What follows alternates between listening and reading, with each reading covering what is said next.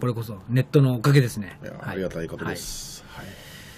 じゃあ、えっと九州の人5%ぐらいいましたんでね、はい。みんな行っていただけるということですね。だと思いますね。じゃんじゃん吸収できたらはいいいですけどね。じゃんじゃん九州はい、はい。はい。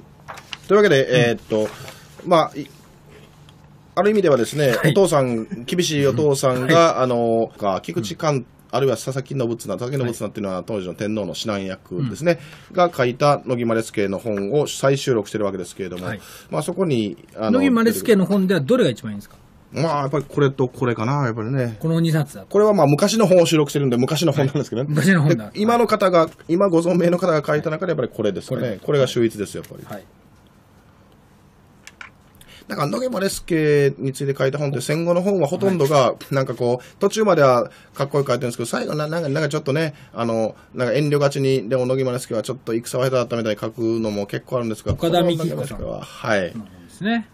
これはもうはい。本当に皆さん読んでいただきたい。はい。こっちは？こっちはだから、あ、こっちも昔の本だ読んでいただきたい。はい。将軍乃木マレスケ昔の本だという割にはちゃんと読めますねまあこれは書き下してありますね。書き下してあるのはい。でちゃんと。はい。はい。まあ、今の書体にも直してくれてるんですけど、でそこに書い出てくるあの修道場での乃木マレス系の,、はい。あのこれはイメージを読みというんですけどもね、あのまあ、修道場ができてからの、まあ、人たち先輩たちになって学問をしますぞっていう、まあ、あの最初修道場に集まっあの毎日その、まあ、学問を授業を始める前に読み上げるものがあるんですが、これをよあの読んでたのが当時16歳の乃木マレスケだったということで、東条恩開きの説より我ら両人へ届く教授の任仰せつけられ五国内五家中こ国の中でもは萩萩藩の中でも、まあ、家の中でも末々に至るまであの失業をつかまつり候儀ははい、何かこう仕事をしたり学問をしたりする場合は、その精神的な土台としてまず南高の神霊にて尊王攘夷の本意を本意を受け継ぎ中高の大義を守り武士道の心へ寛容のことというふうに書いてあるわけです。で今申し上げた、まあ、直接君とをお父さんや玉木から受けたということなんですが、もう一人あのまだ見ぬ師匠というかですね、心の師匠がいたわけですね、それがこの方でございます。お心の師匠ってはい。どんだけ離れてるんですかっていう楠木正成。だから当時はあの野木マレスケ将軍だけじゃなくていろんなやっぱり長州藩の方はあの、まあ、南高数形が強かったですからね、そういうのをあの皆さんが、まあ、数形もしてかつあのそれ南高とはいかなる人物かということを伝えていったというね。わかりますね、はい。もう七章報告ですからね、でなこれはい。ここで何を言いたいかというと、えーあの野木マレスケの初陣は何かというと、第二次小長州征伐なんですよ。うん。はいはい第二次長州征第二次伐。はいはい。なるほど。これはあの元治2あの時に年、あの1864年に、えーまあ、幕府に従わない長州藩、で第一次長州政党ではとっちめた、でとっちめて、あの家老三人切腹ってね、有名ですけれども、でもう一回、じゃあ、いてもたろかい言うてこう、あの幕府軍が攻めてくるわけですね。はい、いてもだるかい。はい。あ今ね、京都国立博物館で龍馬展ってやってるんですけども、うん。あその龍馬展では、そうですか。あの第二次長州征伐って書かずに、あの長幕戦争って書いてましたね。ああのばあの長州藩びいきの人がたまに幕長戦争とかことあるんですよ。あ今龍馬展やってるんですか？幕府と、はい、幕府と長州が戦った幕長戦争という言い方は、まあ、たまにあるんですが、長幕戦争でなかなかないんですけどね。だから龍馬展のその担当した学園がよほど、まあ、長州びいきだったのが、だって、あんの当時の政権よりも長州の方を先に持ってきてるんですよ、長幕戦争。うん昔の日本、あの、戦後すぐの日本人が書いた本の中になんか中日戦争とか書いてある、なんかいじましい本がたまにありましたけどね。うん。韓日っていうやつみたいですね、はい、あ、ちなみに、あさってまで、はい、あの、あ京都で。龍馬展はい。あマジっすか？あさってまで？東京とか来るかもしれませんよ。あの、国立博物館でなるほど、あの、はいはいはいはい。ね、回り持ちやるか当時の服とか？あ、そう、あまあ服はもちろんですけども、ははいちの陸奥の神か義行とかね刀とか。刀とかもある。あと、あの、手紙がとにかくたくさんあるんですよ。で、そうですね。手紙にはい。余計な、あの、解釈を加えずに書き下しがちゃんと置いてあって、うんあそうです。かそれで結構私も勉強になりましたね。あの見に行きましたけど、あの急いで1時間でダッシュで見に行きました。結婚式に出た後、バーッと見に行きました。1時間であれ読めないでしょっていうぐらいありますよね、はい。一日がかけて見るようなところもね。だからあの司馬遼太郎の創作が多いとか言われるけれども、坂本龍馬ほど手紙書いた人間がいなくて、ね。当時文章があんだけ残ってるし人間がいないわけだから、はい。だから人物が一番想像しやすいっていう、はい。だからかなり正確なんじゃないかっていうのは僕なんかは思いますけどね。で、また内容がね、また面白くてね、はい。今で言えばその田島陽子さんとか見たらなんか叫び出すような、そういうのがあるわけですよ。あ、はいはい。あの自分の姪っ子を可愛がってたわけですけどね、うん。ところが可愛がってる姪っ子がその坂本龍馬がこうむしゃくしゃした時とかはそれをバーってあの人手紙に書いちゃうんですね、はいはいはいその時に、うん。お前のアバタ面はひどくて、えーお城でごまかすごまかしたとしても、おあのその上を歩いたらつまずいて転んでしまうわとかね。そうすごいこと書いてあるんですよね。お手紙に。で例えばですよ。いろそういうことを書いてある、なるほど、うん、はいはい。すごいな。そうそうそうそう、ん。だからあの、だ当時、だって、飛脚が手紙運んでたわけでしょ？だから、は坂本龍馬の手紙とかっていう新書かなんかがあって、はい。それ読んでたら、なんか、えっ、と、当時の価格を今の価格で計算したら、はいえっ、と、3000万円ぐらいはい。手紙代出してるっていう。手紙代でね。切手切手代で。はいはい。はだって手紙。私も大概せ戦争経験者にたくさん出してはいますけれどもね。だかはい。ら手紙を書きすぎて、もういろんな人にバンバンバンバン書いてて、あとは紙写りとかの具合で、はい。どうもこれはちゃんと机に座って書いたんやなくて、うん。あの手で持って、手で書いて歩きながら走りながら書いたとおぼしき手紙とかもね、残ってるわけですけどもねだから、相当すごいなあというのは思いますね、と当時ね。今なんて80円とかね、はい。で、手紙出せるのに、はい。我々全然出さないですからね。はい。ほんまにそうですよね。そうそうそう、あ80円で出せるのに。白するのは手紙ですよ、皆さん。メールちゃいますよもう。はいはい。あ告白今や LINE もありますからねね。あの、LINE もありますせめてね、LINE とか、あはの、携帯メールでやるんだったら、歌を読み合うとかね。歌を読み合う。愛見ての後の心に比べればとかってね。経験あるんですか？いや別に。間違えて自分のおかんとかに送ったらなんかどうしたのみたいな感じじゃないそうですけどね。なんか、百田さんが、はい確か、あのー好きな人にラブレター書いて、はい。好三きじゃないとね、書きませんからあね。もちろん、ラブレー。ターを書いて書いて、それで、なんかその、あの、送ったんだけど、はいそれが、あのー試し書きの方を送ってしまったらしい。はいはいはい。お試し書きの方がいいこともあるでしょうね。いや、それが、はい。結構エロいあのとかを書いて、で、朝、次の日になんか帰ってきたら、家にやったら、本番書いたやつが残ってて、あ。あ、みたいな。試し書きの方を送ってて、はいもう死にたいと思ったっていう。それなんか結構、本当に妄想をいろいろ書いてたあらしい、ね。の歴史上のね、人物って結構エロいあの手紙多いですよ。有名なのナポレオン。うん。うん。あの、きあの、ナポレオンがね、あの、奥さんのジョセフィーヌに書いた手紙。これ、イタリア戦線とかオーストリア戦線に行ってる時も、結構毎日のように書いてたらしいんですけれども、はい、は、は、早く、あの、そっちへ戻って、君の股間に顔をうずめたいとかね。そういうこと書いてるわけですよ、普通に。はいはい。確かにね。エロ親父ね。うんもう、ヒャさん、あれはややばいなって、なんか、はいその話聞いた時もう笑いここけましたね、あれ。まあ、そういう、あの、さす試練をくぐり抜けてるからこそ、今の百田さんがね。あの、小説のタイトルは、はいその手紙書いた時に出たんじゃないかな。ああ、なるほどね。永遠のゼロ。そっちですね。可能性ゼロでしょ。あの、あれなんとかの心臓は？鋼の心、鋼の心臓、め、め、じゃあ鋼の、あの鋼のメンタルメンじゃないんですか？そっちの、むしろ。そっちじゃないな。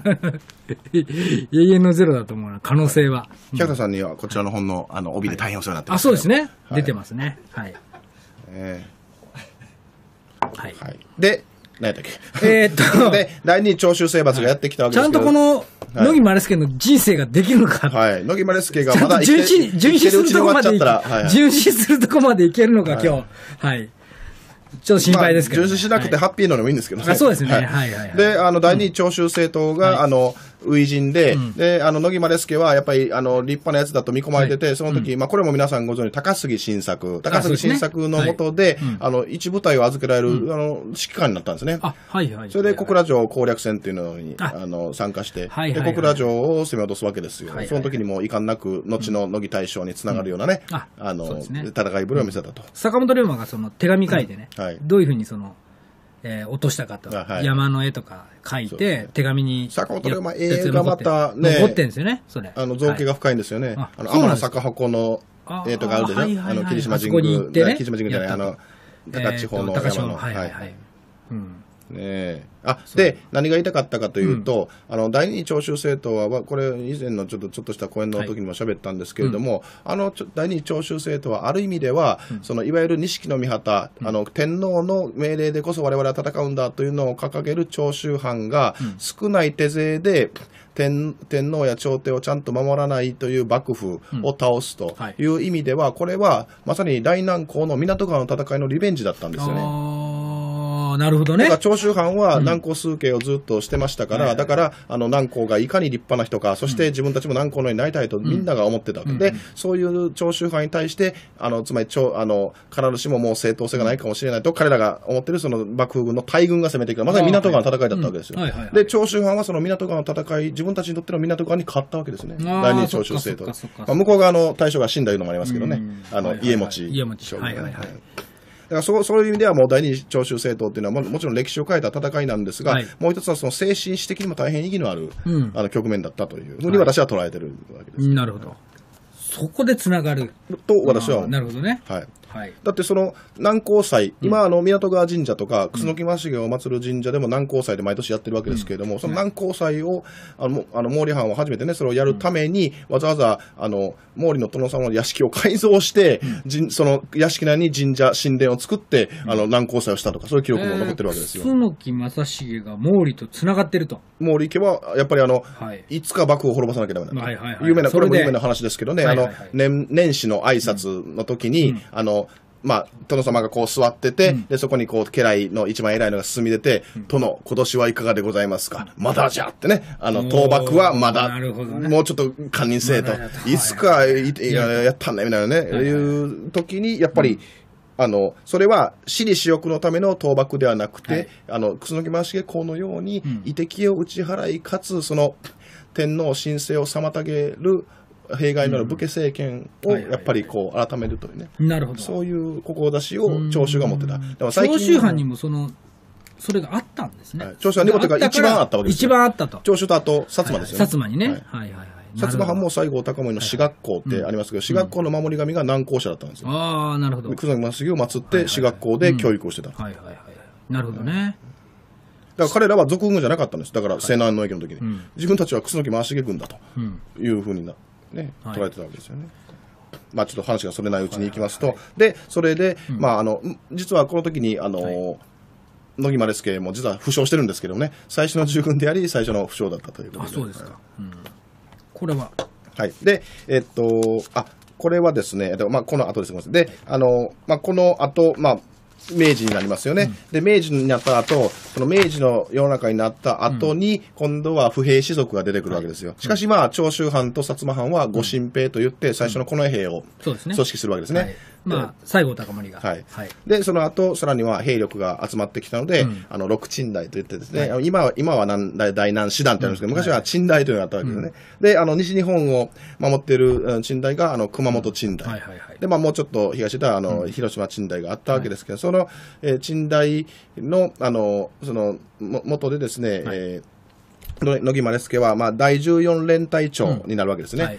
あのじ連隊長ってその後もそうですが、普通は大佐大統領できないのを、あの中佐であった乃木た乃木さんがこう、抜擢されてはい。はい連隊長を務めた。うん。で連隊長で日々当然訓練に勤しむわけですけど、その一方で情報収集を怠らずに、不平士族はここで決起しようとしてる、ここでやばそうだぞっていうことを、こう、鎮大の 幹部とかにも言うわけですけれども、うんはいはい。実はなかなか取り上げられなくて、で、そのうち、秋月のなんとか、萩のなんとかね、それがバンバンバンって起こって、はい。で、あ、乃木の言う通りだったということで、特に萩の乱の時は、あの、萩の乱って実は大規模なね、はい。暴動だったんですけども、あれは、あの、素早く対応できて鎮圧できた。なるほど。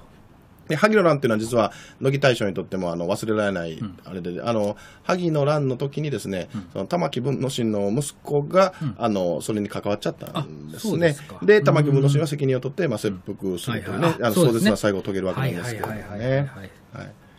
はいはい思い出したわ。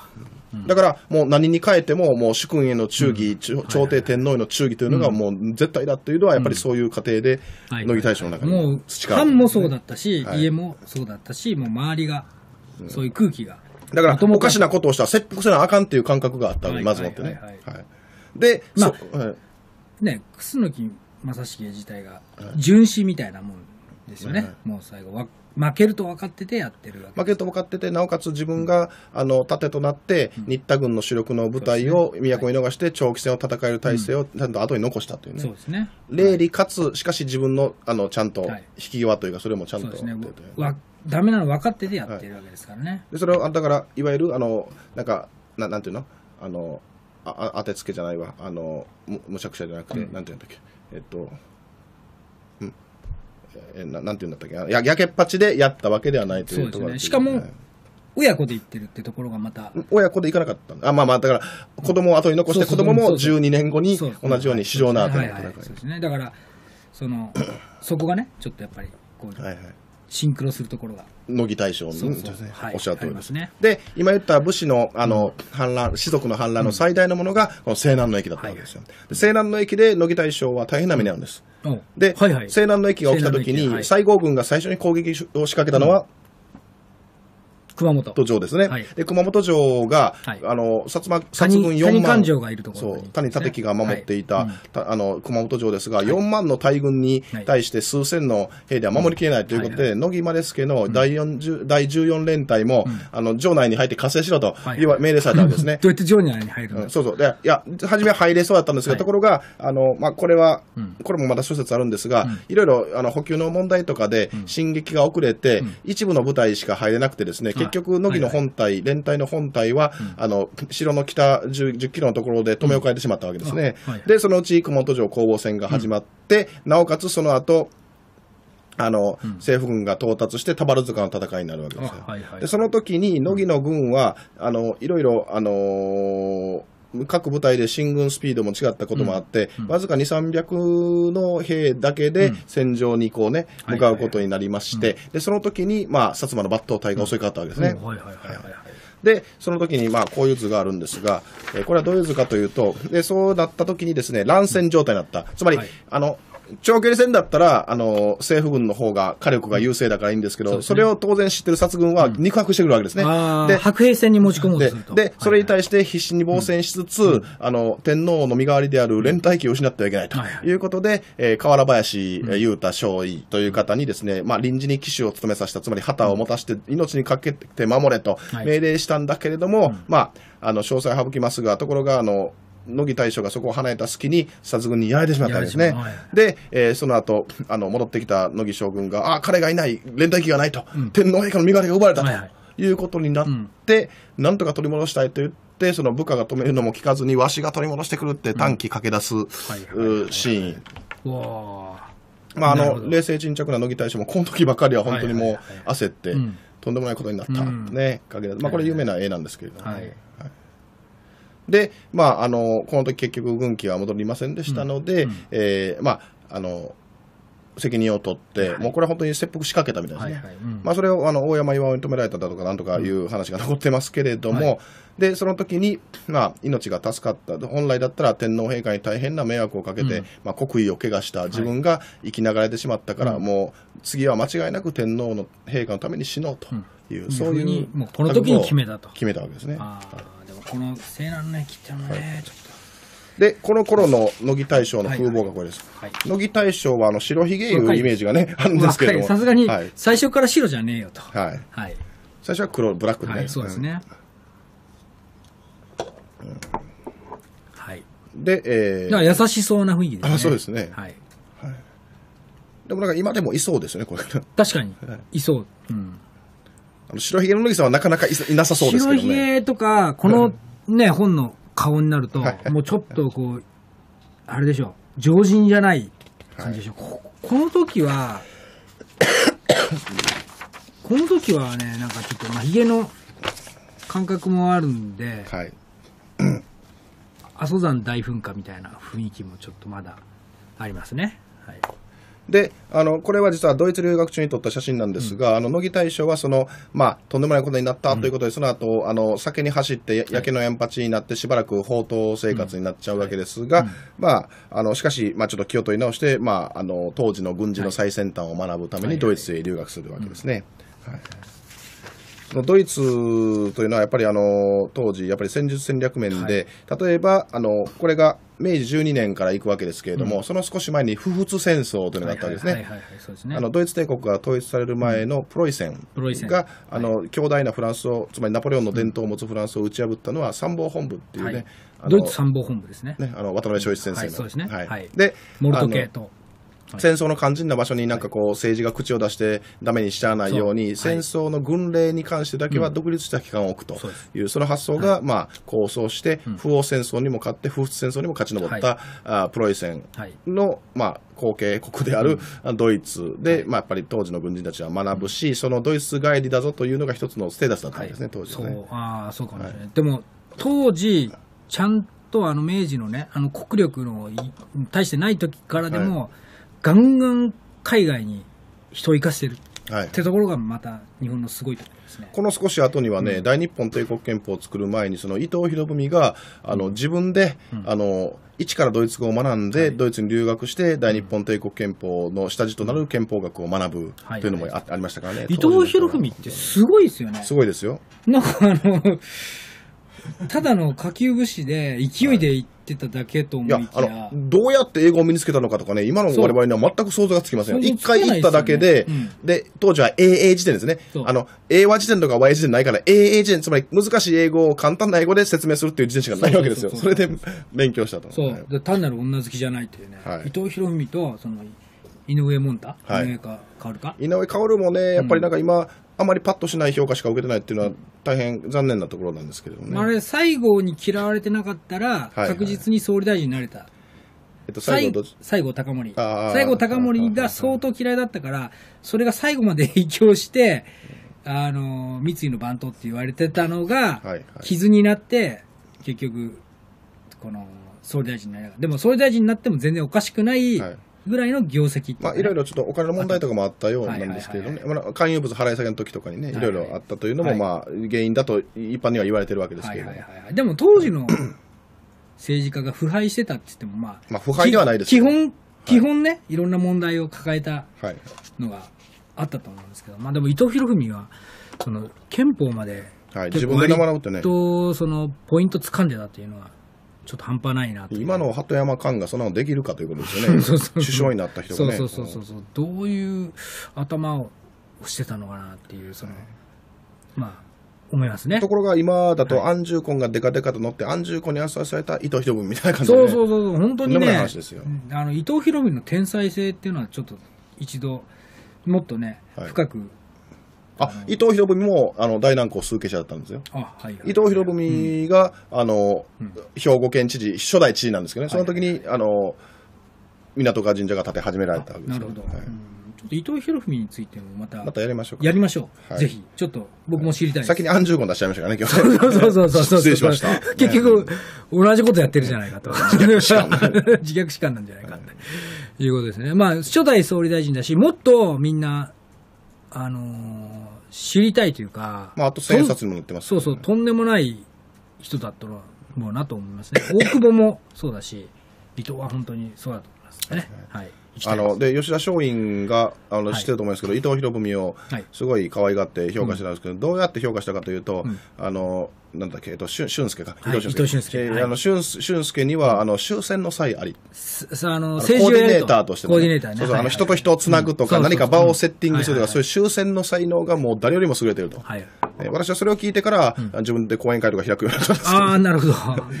まあそれは100回で終わっちゃいましたけどね。いやいやいやいやいや、全然終戦の際もあるんだえよーちょっとは、まあ最近はね、ちゃんと研究まあもしなきゃダメなん、まあでも、館内人では、では世界的権威ですから。終戦とあまり関係ないですけど、で あの、はい、大丈夫ですよ。はい。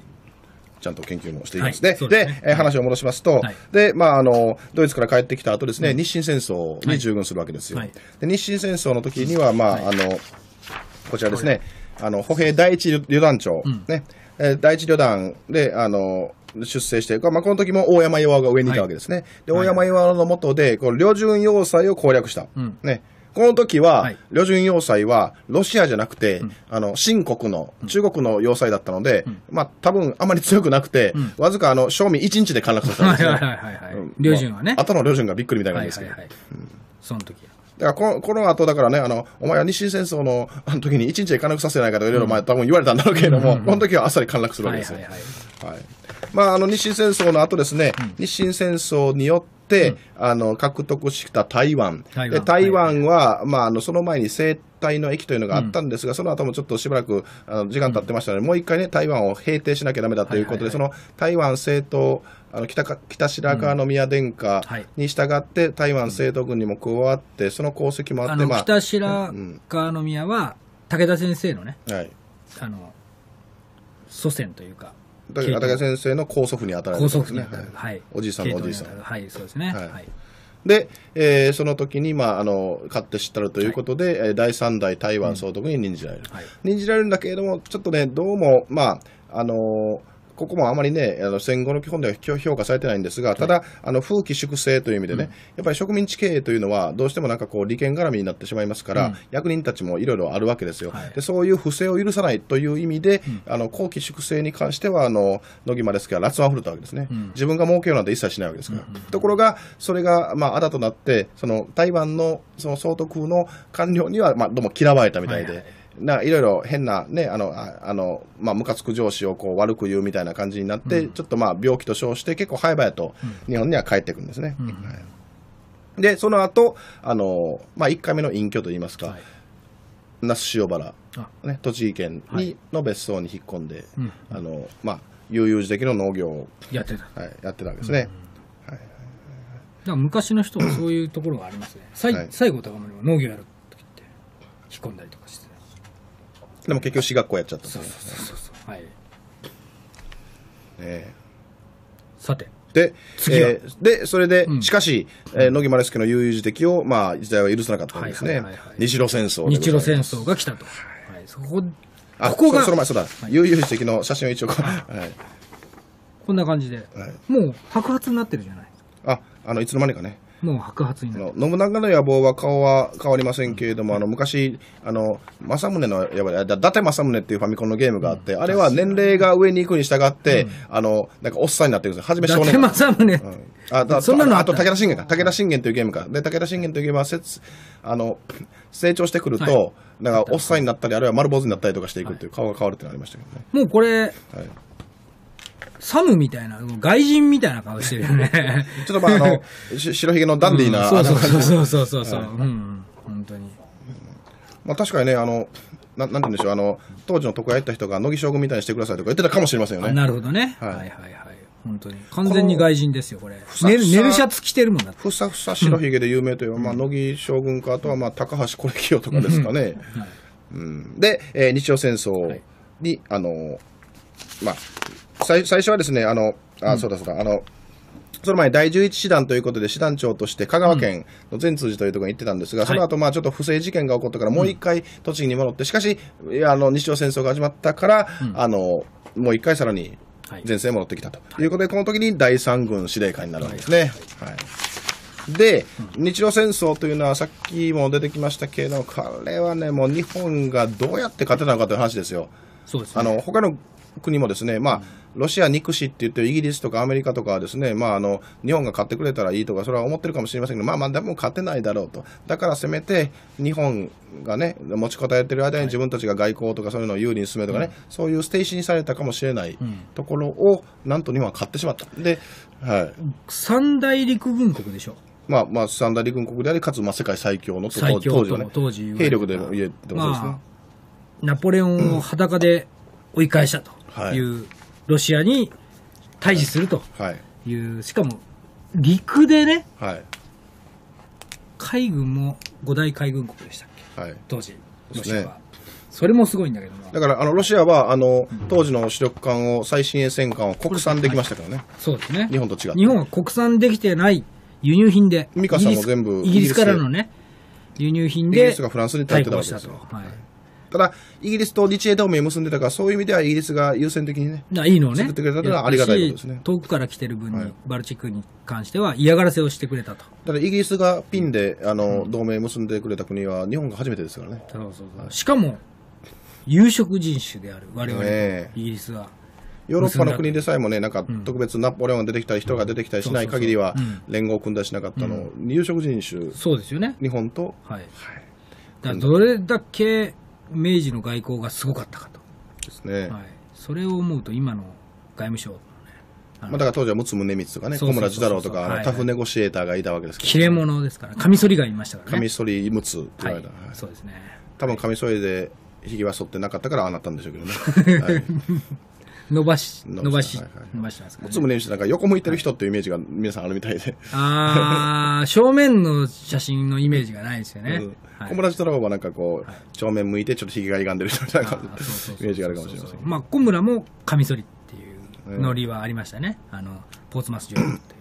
はい。で、はいあのーあれですよ。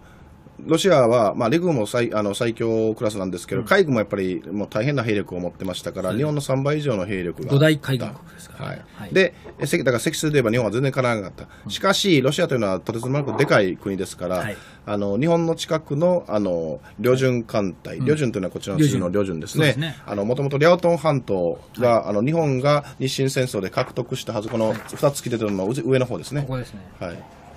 で、このリャオトン半島を、まあ、ロシアがですね、中国から、このちょこっと出たところですね。はい。中国から日本が割譲されたのを見て、三国干渉で返せと言ったわけですよね。はい日本に。あのこの、あの、リャオトン半島割譲は、東洋の平和に重大な影響を及ぼすと。はいお前に言わなくないって話なんですよね。でそれで、まあ、あの、わずか日清戦争から1週間後にそんな通知が来たので、日本は日本泣く泣く。戦えないから、はい。で、アメリカに聞いたらアメリカも、ここは引けとはい。言われたから、列国会議であのこううまいこと交渉できないかって言ったけれども、そうなるとあの日清戦争の他の案件までいろいろ出てきてもっとややこしくなるよと言って泣く泣くはい。返した、ですね。で返したら今度はロシアがね、ジャイアンみたいにこのリャオトン半島誰のおかげで帰ってきたのみたいなね言ってるくらいですよ、うん。でそれでまあ99年間ただでか、借りるみたいなねそんな条約を結ばされた。だから今思えば、あのー、よく密約してたってことでしょ？まあそうでしょうね。し清と、はい。あの、密約をしてて、はい。それでロシアが、俺が追い返してやるから俺に使わせてくれと。で中国にとっても日本という自分が格下に見てたにやつに奪われるよりはロシアに奪われたのがまだいいかなみたいな、うん、そうですね。バカですね。はっきり言ってバカですね。国益よりも、こあのそうういうあのメンツだけね。そうそうそうそう。で、ロシアにもっとひどいことされそうになってたそうそうそう。わけですよね。そういうことです。はいはい。で、この旅順艦隊と北の方にあったあのウラジオストク艦隊と本国に近いところにいたバルト海のバルチック艦隊。はいうんまあ、バルチック艦隊が一番強力なわけですけれども、その3カ所に分かれてたので、これはね、あの、は全部一箇所に集合されると、これはまずいとまずいということで。いうことで、はい一個ずはいつ潰していこうと。ということになったわけですね。はいランチェスターの法則ですね。だから、核攻撃化ですよ。そうですね。で、核攻撃化するために、まず、旅順の艦隊をどうにかしないといけない。はいところが、旅順艦隊というのは、その旅順の、ちょっとこれ小さいから分かりにくいかもしれませんけど、旅順コーナーがここなんですけどね、あの、いわゆる湾みたいになってるわけですよ。ねパールハーバーみたいなねはいはい。で、湾内に旅順艦隊がいて、なおかつ、その陸上には砲台がたくさん並んでる。はいはいはい。とすると、そこに日本海軍が攻めていこうもんなら、湾内からは敵艦が撃ってくるし、前の陸地からは陸上砲台が撃ってくるかも。うとてもかなわないわけですよ。はいはい。かといって、じゃあ、連合艦隊が別のとこ行ってたら、パッと湾外に出てきて、日本の弱い商船とかをバーって撃って、バーってヒットエンドラーみたいな感じでね。あの、やってくる。で、これはまずいと。うん。いうことで、じゃあ、陸上砲台をまず無力化しながら、湾内の敵艦をやっつけられないのかと。いうことで、裏から回って陸の高台を取ってしまおうと。そうです。皆さんも名前は知ってる203コーチというのはそういう意味で重要だったんですね。そうそうそう。これはもう、すごいね。はい。ここを死んでも取るぞという、この203コーチが今後のはい、その、改戦のね、あの、きっかけになるとでいうことで、そうそうでもして、早く、あの旅順を陥落させないと、攻略しないと、バルチック艦隊が本国を出撃して、日本艦隊あ日本近海に迫ってきて、旅順艦隊、さらには北のウラジオストク艦隊と合流して、はい。とんでもない兵力になる。とんでもない。はいはい。だからだから、核攻撃化しか勝ち目はないと。そうです。ここでとりあえず、取るしかないとい。うことで、203コーチを取ろうと。で、最初、あの、203高地といいますか、旅順要塞にね、あの、リャオトン半島の付け根から回ってきた乃木の第三軍がですね、あの、攻撃を仕掛けるわけですが、はい。第1回の攻撃は、まあ、敵兵力とか敵の防御陣地がどうだったかというのも、よく分かんないままに攻撃を仕掛けたので、もうとにかく大損害を負って、はいはいはい。あの、ね、引き下がったわけですね。はい。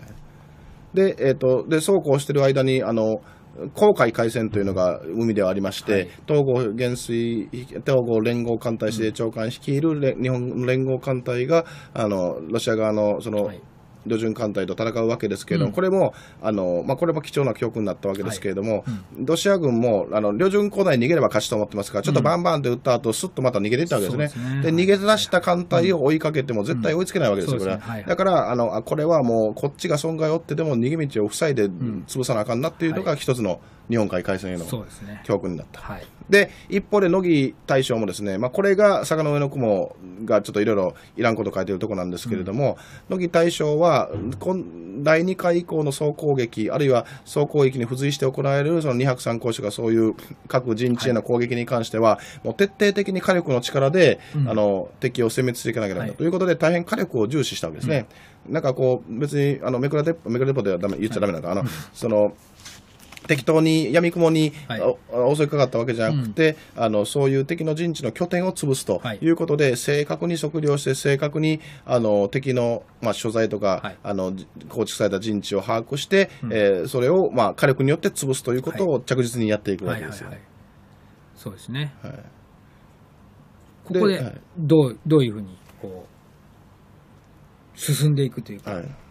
そのどれぐらいの期間というか、どんな感じで、まあ、だからあの、結果的には半年ぐらいかかってしまうわけですけれども、半年でしょ、一箇所にね。でだから、あのまあ、一番最後はあの12月31日、まさに年末の、はい。もう本当にね、もうみんな年賀状書いてる頃に、あの年賀状を読んでる頃かもしれない、下手したらね。あの31日。であのにやっと陥落するわけですけど、明治37年。の、であのだから旅順艦旅順攻略戦はその前にこう敵のベトン、ね、あのコンクリートとかを撃ち抜くためにですね、あのまあ海軍からあの28産地を借りたりとかね、はいはいあのそうそういうことも行われた。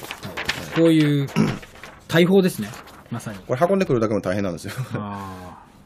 海軍から借りてきて。やはいってたと。あとは海軍陸戦隊も結構派遣してるんですね、東郷軍だから当時は、はいあのー大東亜戦争の時と違って、こう、陸軍と海軍のね、う連携がすごいですよね。はい、海軍が良かったよって言ったら陸軍を助けるっていうか、はいこれ使ってみたらみたいなそうですね。のがととこのありますよね。あの、大東亜戦争の頃には、ミッドウェー海戦負けたのも知らなかったりとかね、陸軍が。そうそう、あとドイツから、はい。なんだっけ、何の部品だっけ、ドイツもに陸軍からも発注して、はいはい。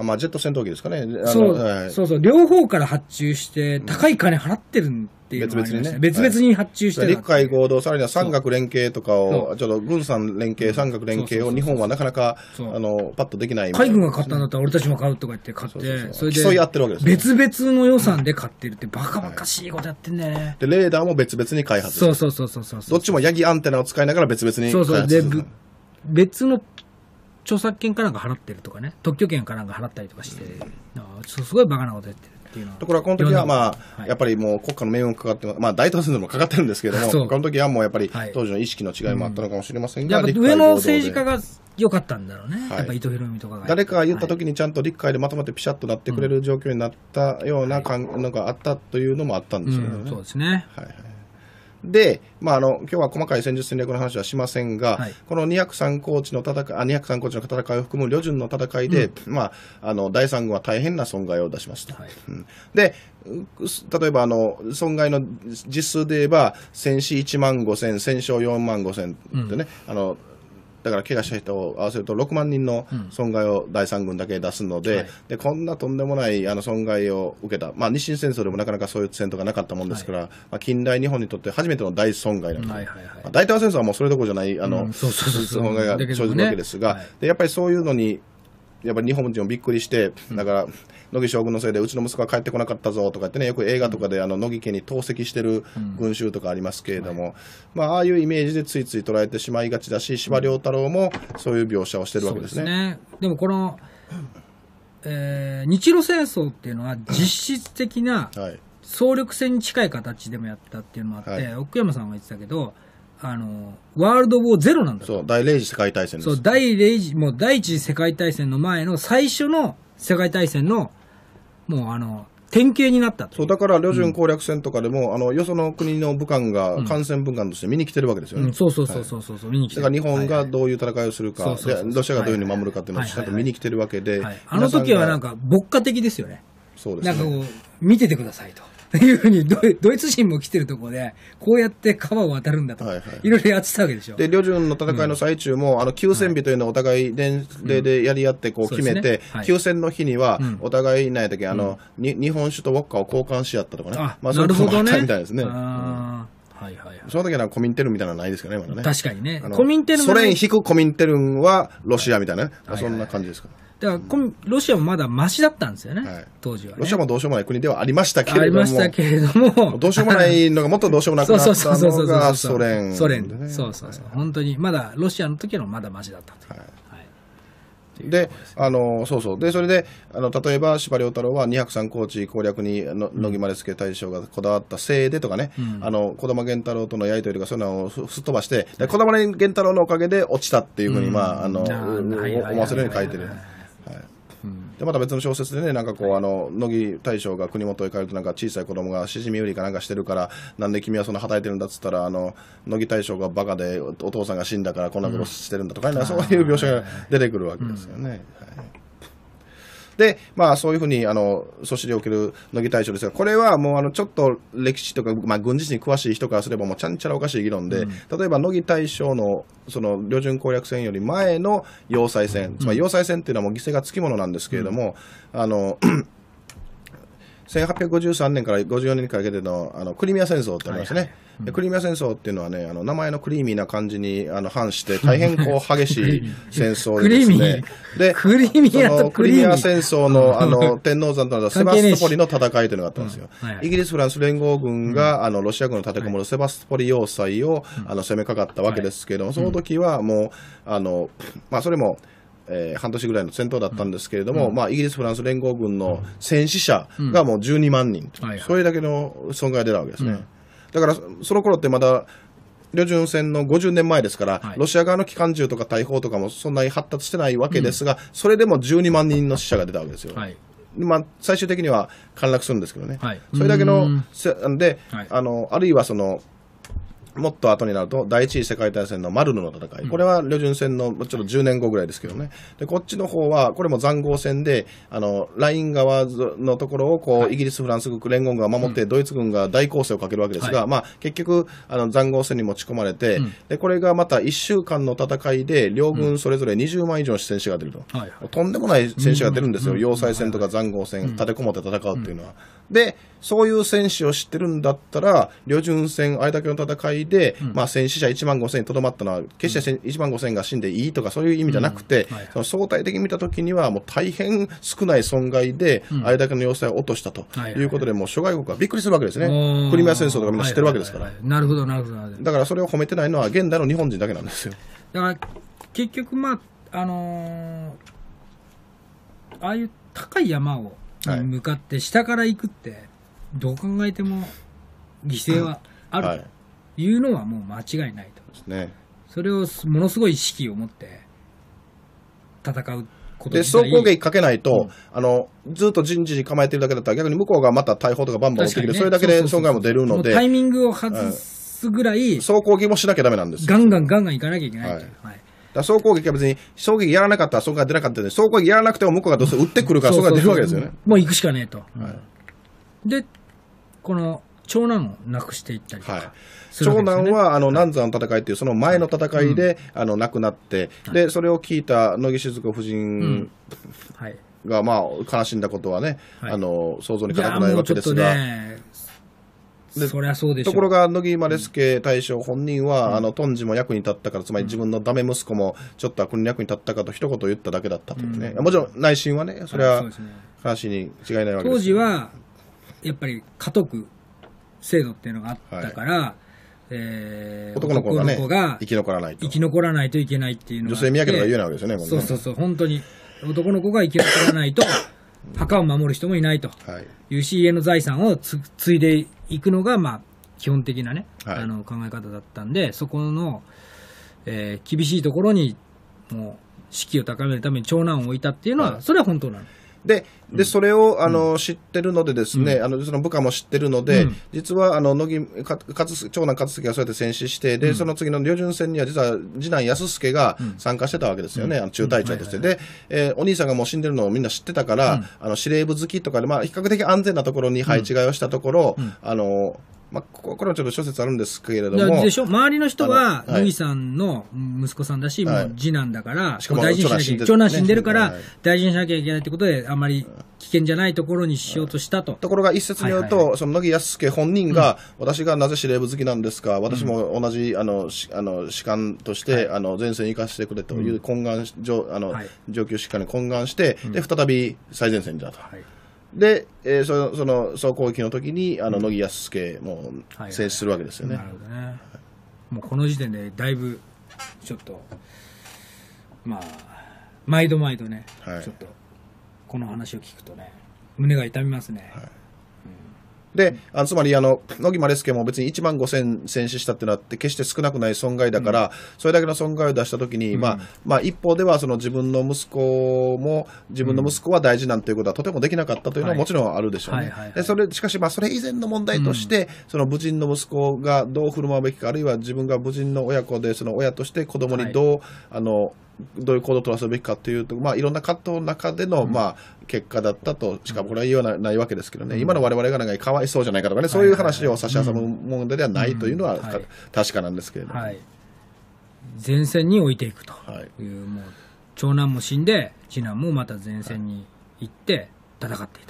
だから逆に言えば、い今の人はどうか知りませんが、当時の人は、確かに自分の息子も、息子が旅順戦で死んだとか言っても、まあ、あの乃木大将、乃木司令官がうん。二人ともね、もうそれまでに亡くしたなんて言うと、もう皆さんはそれどころね、そんな乃木大将を批判するなんてことはないわけですよね。だから、結局、今の 人は無能だった的に結構片付けてるけれども、当時の明治の人たちはみんなが乃木さんがいたから落とせたんだっていうこともみんな知ってるし、みんなが納得したし、むしろやりすぎだと。はい。息子さんまで出してはいっ。ていうところまでみんな同情してたと。あの、旅順戦もそうなんですが、戦死者名簿というのがはい必ず広島の、あ、広島じゃないして、当時はもう東京だ、うんあの、大本営、つまりうん天皇陛下のもとに送られるわけですが、うん天皇陛下ははいその戦死者名簿を全部ご、自らご覧になったと。ああ、なるほど。うんでおそらくは、まあ、これは想像ですけど、まあ、やっぱり乃木安助、勝助の名前があれば、明治大帝も気づかれたでしょうね。そうですね。うん。という、まあ、明治天皇もそううい。う、あの乃木丸助の苦中を知って、でかつあの軍旗が奪われたということで自殺しかけあの、ね、切腹しかけたなんて話もご存知でしょうかですね。はいはいではい。そんな乃木を変えてはいけないと、つまり、あのーやっぱり、ね、大本営ではちょっと乃木丸助を変えろという意見もございますが、陛下みたいな人もいたわけですけれど、乃木を変えてはならんと、これは本来、ちょっとね、ここう本当にそう言ったかどうかわかりません、だからそう,、そういうことをにわせる発言だけかもしれませんけれども、誰天皇陛下は自分の意見言わないことになってますからね。はいだから、はい。それはちょっと、はいあの、まあ、いつもものなんですが、ととりあえずその、明治天皇はもう乃木に任せて、あの、旅順攻略戦というのも、やっぱり、ね、それなりの確信を持ってたようではあるようですね。はいはいはいはいでもその203コーチがもう落とせたと。はい、はい。で、落とせたから、だからもうこう、まあ、ここで言うとね、はいこれ、これ山の上なのね。はい。これ山の上だから、それ湾に、はい。もう、ロシアの船がいっぱいあると。はい。もうそれは、そこからだから、大砲だから、撃ち放題。はい。ドーンボトンで、ちゃんと測量の結果、どう打てば湾内のところに落ちるかって、どまあ座標を取ってねうんも。うどんどん、上からだからね、もう、おっと、ちょっともうちょっと右で右から撃ってみよう。ドーン。まあ安全に打てるわけです。向こうから打てなもうい。向こうから撃てないわけだから、ちょっとそ、そこだけはね、加わりたいなと思います、あね。そこだけ美味しいところ。に203コーチ落とすとこはちょっと怖いけれども、その、あアフターだけね。アフターだけ上から、上から、よし、まあ懇親会だけ来るやつみたいな。あの、こ公園とかで来ずにね。そうそうそう。あの打つだけですから。で懇親会だけそうそうそう。やられることはないと。はい攻められないと。はいもうあとは上、上から打つだけっていう。で、それで乃木大将はなんとか旅順を落としたのと、あと、まあ、もう時間ないので、さらっといきますが、その後、法廷の戦いでもですね、まあ、遊撃部隊のようになって、こう、敵をか乱して勝利にこの導いたと。法典もやばいでしょ。はい法典も。大決戦でしょ、これ。はいあの、陸軍、史上最大の陸軍史上に陸残る軍陸戦です陸戦でしょ。はい。だからそれまでの最大の陸戦というのはアウステルリッツの戦いというのはナナポレオン時代のね、そういうのがあったわけですけど、三帝海戦っていうオーストリアとフランスと、あの、なんだ、ん？あ、ロシアがあったんですけども、それを上回る戦域の、そうですよね。はい。はい。もう本当いよいよ、あと7分というはい。ところまで。で、はい。乃木大将は戦にうまいだけじゃなくて、その、あの、やっぱり高潔さ、人格をはい。世界から称賛された。例えば、その、旅順を落とした時に敵将ステッセルですね。これは、あの、はい。明治天皇と日露大戦争という映画の一一コマなんですが、はい。まあ、当然向こうはね、もう、あの、負けてますからね。そう。負けてるから、で、当然自分たちが負けたやつをそう扱うように、もう武装解除されて、丸裸にされて、あの、こっち来いって言われるのかと思いきや、まあ、自分と日本に武士道があるように、やっぱり西洋にも騎士道があるだろうかはいはい。ということで、乃木大将は体験を許して、あの、会見に臨んだわけですね。要するに、あの、相手が武装解除してるけれども、ちゃんと刀を持って、武人として扱いましょうということで、えー記者団を外して、プリズナーじゃなくてちゃんとゲストとしてねそうそう、ちゃんとした格好をして、敗者として扱うわけじゃなくて、お互い戦った者同士だというふうに扱って写真を撮らせたはい。りしたでと。、あのーまあ、なん何かというと、まあ、やっぱりソ連になる前のロシアではありますけれども、負けて帰ったらもしかしたらもう処刑されるかもしれないわけですよ。この、このバカ者ということで。そうですねだから、ま、ま、帰ってもやられるんだったらもう、これ刀持ってるから、ちょっと一丁やったのかって思うかもしれないわけですよね。うんはいはいステッセルさんがうんダメな将軍だった。ところがステッセルはそれに感動して、で、その後、会談の後、まあ、飲み会というかね、あの、アフターがあって、打ち解けた時の写真がこれですよ。もう打ち解けすぎでしょって感じですよね。そうですね。もうリラックマみたいな感じで。うん一緒にね。はい。で、その時に、あの、感動したステッセルは、後に、あの、馬をはい。送るわけですね。はい。の乃木将軍にで、それがステッセルから取ったともしく、あの、スゴーというね、あの、寿とかでスゴーと名付けられるわけですけどね。うんはい新玉号スゴーってね、あの、ん馬の名前な、ないくつか乃木さんの本を読んだら出てきますけど、これがスゴーでございます。だってもうあの、ロシアの騎馬兵のね、はい。あの伝統があるところの馬なんで、立派な馬だったでしょうね。はい日本の馬はちっちゃかったらしいですよね。あのそうです、そうです。騎馬隊、ロシアの騎馬隊とどうやって戦うかっていうのはね、秋山義古がはい。ずっと悩んでたぐらいですかね、騎兵隊ですね。コサック騎兵と戦ってね。コサック騎兵です。で、ヨーロッパの雑誌でもこういうふうに取り上げられて、まあ、あの、日本のなんかしょぼいはい東東洋のはい一国だったのが、もうこう世界的優位になってしまった。そうそうそう。だからやっぱりこの、ちゃんとこう、何ですかね、尊敬されるとはい。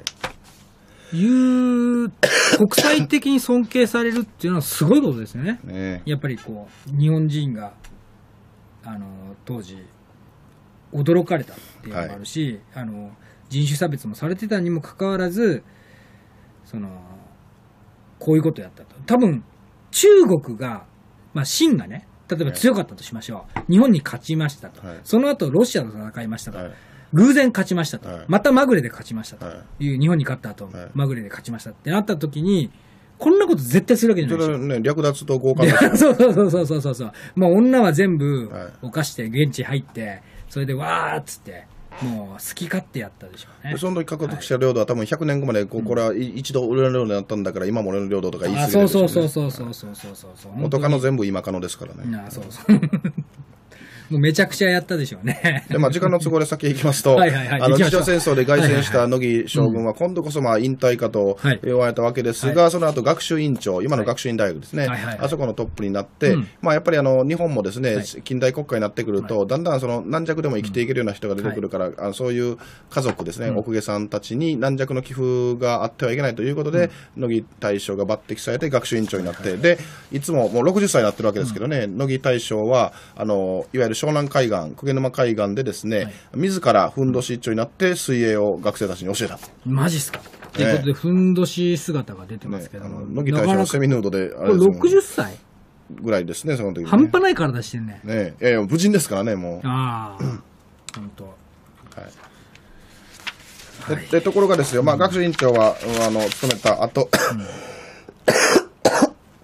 あと、さらに、あの、後の昭和天皇、ね、昭和天皇の養育にも与えた。はい。えこれは実は、あの、まあ、ちょっとさ、まあ、話話が戻りますけれども、最初、玉木文之進のあの塾にその無断で入った時に、まあ、お父様はすごい怒ったんですけれども、後に、まあ、その塾で才覚が認められると、お父さんは自分で書写した山賀祖湖の中朝事実という本、これはもう、はいはい。あの町外のバイブルになるわけですけど、うん。それを野木丸助に送ったわけですね、はい。でそれが自分の精神の源だということで、うん。えー野木丸助はもう昭和天皇にその精神を教えてなおかつあの糸満越に行く時にも糸満越というのは、まあ後から分かるわけですけれども、最後に昭和天皇後の昭和天皇に現れた時にも中朝事実を最後片身に渡すと、はい。で有名な話がありますけれども。ん。つまり日本というのは、まあ、代々その中国という強力あの強い隣国強大な隣国と接して、いい何回も国難はあったけれども、日本はあ中国はあれだけ強くてもコロコロ王朝は変わるけど、我が国は建国以来変わってない。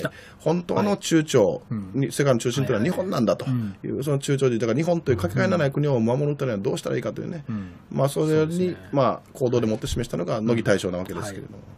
はい、だからそういう中朝事実を渡した、はい。で、時間の関係で。時間の関係で、で、明治天皇が崩御された後、まあ、乃木丸助大将は、まあ、言うなればもう自分を本当にこう一番引き立ててくださった明治天皇が亡くなられた世の中にはもう生きていたくないと、まあ、これがもう亡くなる直前の写真。写真自宅の写真ですけれども、であの有名な時世としては「あの大君の帰り道去りましし写しよの宮としたいて我は行くない」と。はい。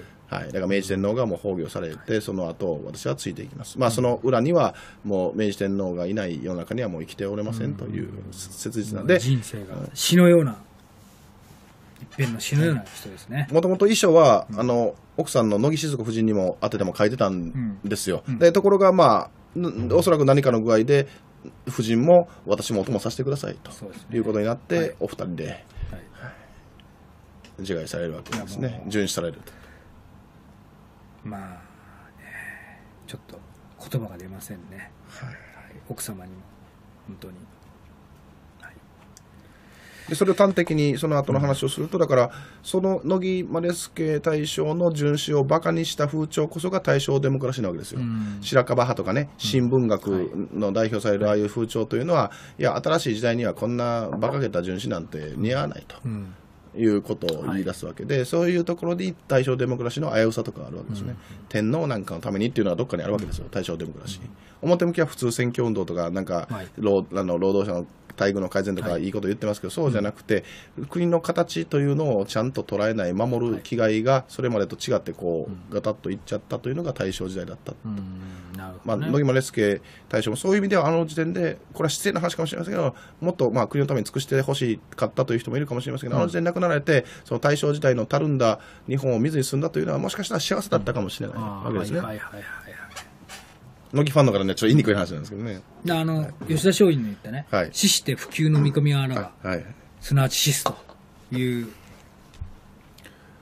死に方ですね。ね死んだ後なおその評価がはい。はい。高まったはいわけでございますけれども、うん。あ打っても出ねえな。まあ出ない。まあいいや。はいはい。で最後さらっと、はいえっとこういうそう乃木大将のことを見たければちょっとビジュアルがいいという人は、DVD があると。昭和32年の明治天皇とはい日露大戦争。昭和32年のあの映画なんですが、これは実は私のゼミの先生だった中西照正先生がこの映画を見て覚醒したと。はい。それぐらいの覚醒した。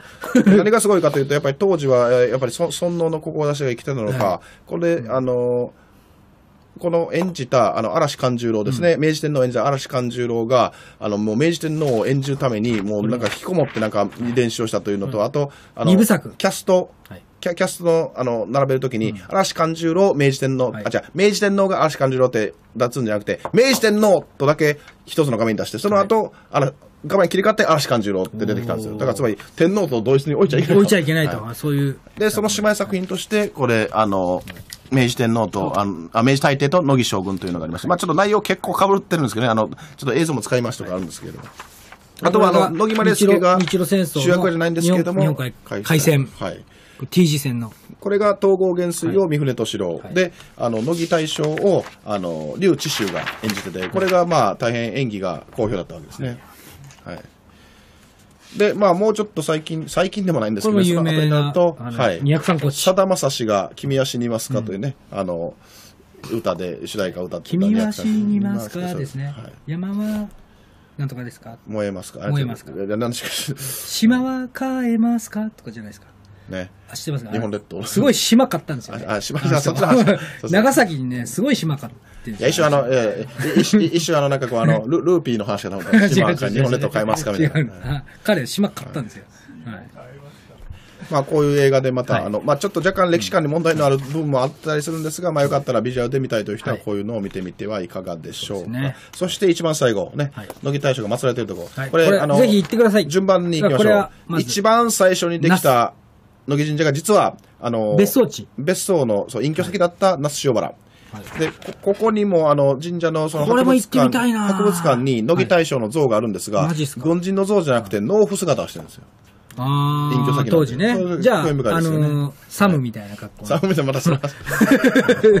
寝るシャツ着てるかもしれへんでっていう。まあ、もうちょっとあのしっかりした格好をして、でその次にできたのが京都の乃木神社、これ実はですねあの乃木大将の人生に一番関係ない地域なんですが、ちょうど明治天皇の明治天皇陵、伏見桃山陵のふもとにあって、今も明治天皇をお守りしているような、はいはい。あのロケーションなんですね、こちらはあの当時の京阪電鉄の社長が私費で建てたという、まあ、すごい神社なんですけどね。でこれもなんか、ちょっと寺っぽいというかね。はい、なんか、あ寺あまああの本殿がねそう、うんちょっと寺っぽい、がっつりした感じですね。はい。で、ついで、出身地の山口県。まあ、本当は出身、下関だから出身地じゃないんですが、下関の、まあ、本藩の本、まあ、拠点ですね。あの、萩藩の下関に乃木神社がありまして、こちらもあの、乃木神、乃木大将聖火塔が先日行ってきました。なるほど。あとは、あの、えっと、乃木水か、あの、水が湧き出てて、それをみんな汲みに来るんですね。おーいい、いい神社なんですね。うんで、えーまあ、比較的遅くできたのが、はいあの、東京の乃木神社。これは、あの、の乃木神社、あの、創建規制会で、あの、まあ、大掛かりにやっぱり東京にバーンと建てるから、しっかりした組織を作ってということで、えーまあ、創建されて、で、その中央乃木会っていう、まあ、その法参会が今も続いてるわけですね。ちなみに私も会員でございます。おおはいはい。まあ、あの、御朱印を、あ、はい。はい。まあ、真っ先に行きましたね。で、最後に、まあ、これは拙者、境内拙者と見る人もいるんですが、えー香川県五国神社、これ香川県五国神社っていうのは、あの、県庁所在地の高松ではなくて、全通寺にあるんですけど、これはだから師団があったからですね。香川県の、あの、ねあの、師団というか連帯が全全通寺にあったからですが、乃木大将が師団長になった時にこちらにいらっしゃったというゆえんで、あの、香川県五国神社の横に参道があって、はい。はいこちらが鎮座ぜひしております。皆さんチェックしてくださいね。あのーで、もう一回戻りますけど、えあさってだっけ？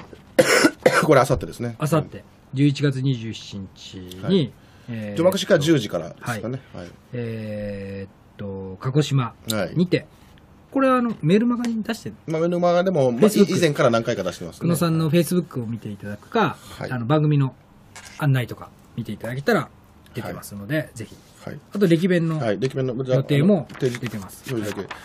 あのーまあ、一番近い、あ、ごめん大津なさい、大津はもう過ぎちゃった。大津は12月です。次、すみません。東京が11月29日。はいで、長岡が12月3日。いで、大津がですね、すいません。えっと、10 10 12月、ん ?12 月の、大津歴弁がいつだったっけ ?12 月、失礼しました。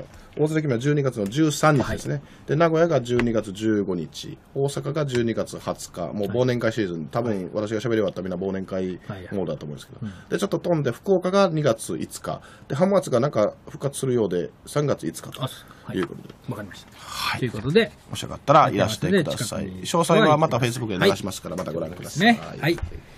ということで、はい。ちょっと長々と、ちょっと時間もオーバーしましたけれども、はい。今日はこんなところで、皆さんにもね、えーやっぱりはい。乃木人乃木大将のことを知っていただいて、でですね。何かというと、はい。戦後の自虐史観は、ん。例えば南京大虐殺とか従軍慰安婦強制連行だけじゃなくて、はい。こういう乃木大将の評価、統合現実の評価っていうのが歪められたことで、あ、戦前尊敬されたやつってそんな程度だから、はい。戦前はバカだった、洗脳された、なんか特定の人に、なんかか乗り固まれてたっていうんじゃなくて、はい戦後に変に歪められてしまったかもしれないっていう謙虚な、ね、思考でちゃんと見ていかなきゃダメだと。そうですね。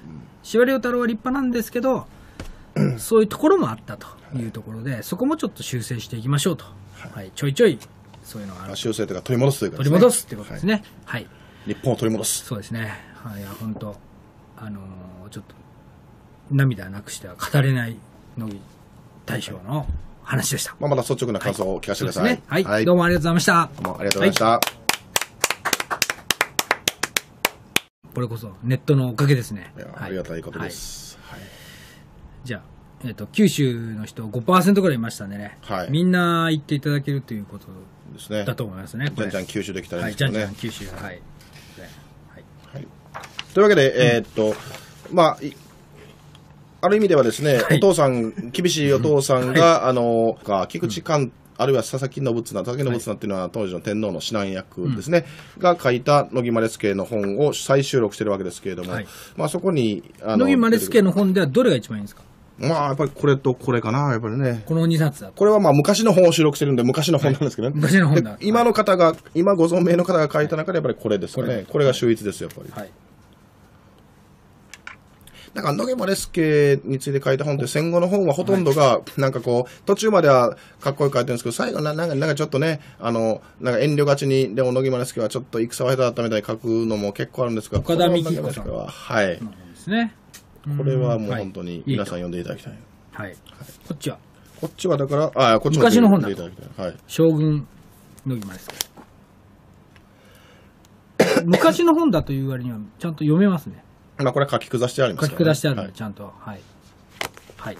まあ、今の書体にも直してくれてるんですけど、でそこに書い出てくるあの修道場での乃木マレス系の,、はいあのこれはイメージを読みというんですけどもね、あのまあ、修道場ができてからの、まあ、人たち先輩たちになって学問をしますぞっていう、まあ、あの最初修道場に集まっあの毎日その、まあ、学問を授業を始める前に読み上げるものがあるんですが、これをよあの読んでたのが当時16歳の乃木マレスケだったということで、東条恩開きの説より我ら両人へ届く教授の任仰せつけられ五国内五家中こ国の中でもは萩萩藩の中でも、まあ、家の中でも末々に至るまでしゅあの失業をつかまつり騒動儀ははい、何かこう仕事をしたり学問をしたりする場合は、その精神的な土台としてまず南高の神霊にて尊王攘夷の本意を本意を受け継ぎ中高の大義を守り武士道の心へ寛容のことというふうに書いてあるわけです。で今申し上げた、まあ、直接訓導をお父さんや玉木から受けたということなんですが、もう一人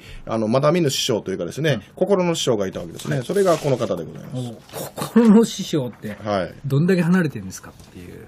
楠木正成。だから当時はあの乃木マレスケ将軍だけじゃなくていろんなやっぱり長州藩の方はあの、まあ、南高数形が強かったですからね、そういうのをあの皆さんが、まあ、数形もしてかつあのそれ南高とはいかなる人物かということを伝えていったというね。わかりますね。はいもう、七章報告ですからね。でなこれはいここで何を言いたいかというと、えーあの乃木マレスケの初陣は何かというと、第二次小長州征伐なんですよ。うん、はいはい。第二次長州征第二次伐。はいはい。これはあの元治2あの時に年、あの1864年に、えーまあ、幕府に従わない長州藩、で第一次長州政党ではとっちめた、でとっちめて、あの家老三人切腹ってね、うん。有名ですけれども、でもう一回、じゃあ、いてもたるかい言うてこう、あの幕府軍が攻めてくるわけですね。はい。いてもだるかい。はい。あ今ね、京都国立博物館で龍馬展ってやってるんですけども、うん。あその龍馬展では、はい。あの第二次長州征伐って書かずに、あの徴幕戦争って書いてましたね。ああのばあの長州藩びいきの人がたまに幕長戦争とかことあるんですよ。あ今龍馬展やってるんですか？幕府と、はい、幕府と長州が戦った幕長戦争という言い方は、まあ、たまにあるんですが、徴幕戦争でなかなかないんですけどね。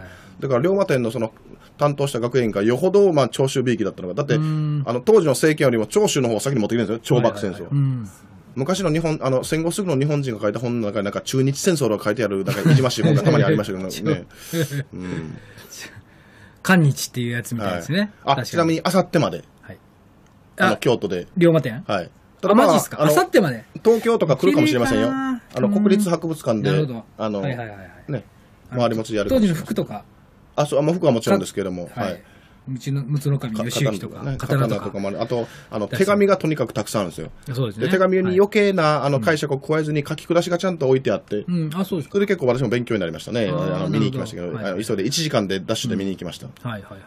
結婚式に出た後、バーッと見に行ったみたいな。1時間であれ読めないでしょっていうぐらいありますよね。はい。一日がかけて見るようなところもね。なんかあの、司馬遼太郎の創作が多いとか言われるけれども、はい坂本龍馬ほど手紙書いた人間がいなくて、ね。当時文章があんだけ残ってるし人間がいないわけだから、はい。だから人物が一番想像しやすいっていう、はいはだからかなり正確なんじゃないかっていうのは僕なんかは思いますけどね。で、また内容がね、また面白くてね、はい。今で言えばその田島陽子さんとか見たらなんか叫び出すような、そういうのがあるわけですよ。あ、はいはいはいはい。あの自分の姪っ子を可愛がってたわけですけどね、うん。ところが可愛がってる姪っ子がその坂本龍馬がこうむしゃくしゃした時とかそれをバーってあの人手紙に書いちゃうんですね、はいはいはいはい。その時に、うん。お前のアバタ面はひどくて、えーお城でごまかすごまかしたとしても、おあのその上を歩いたらつまずいて転んでしまうわとかね。そうすごいこと書いてあるんですよね。お手紙に。例えばですよ。いろそういうことを書いてなるほど、うん、はいはい、すごいな。そうそうそうそう、だからあの、だ当時、だって、飛脚が手紙運んでたわけでしょ？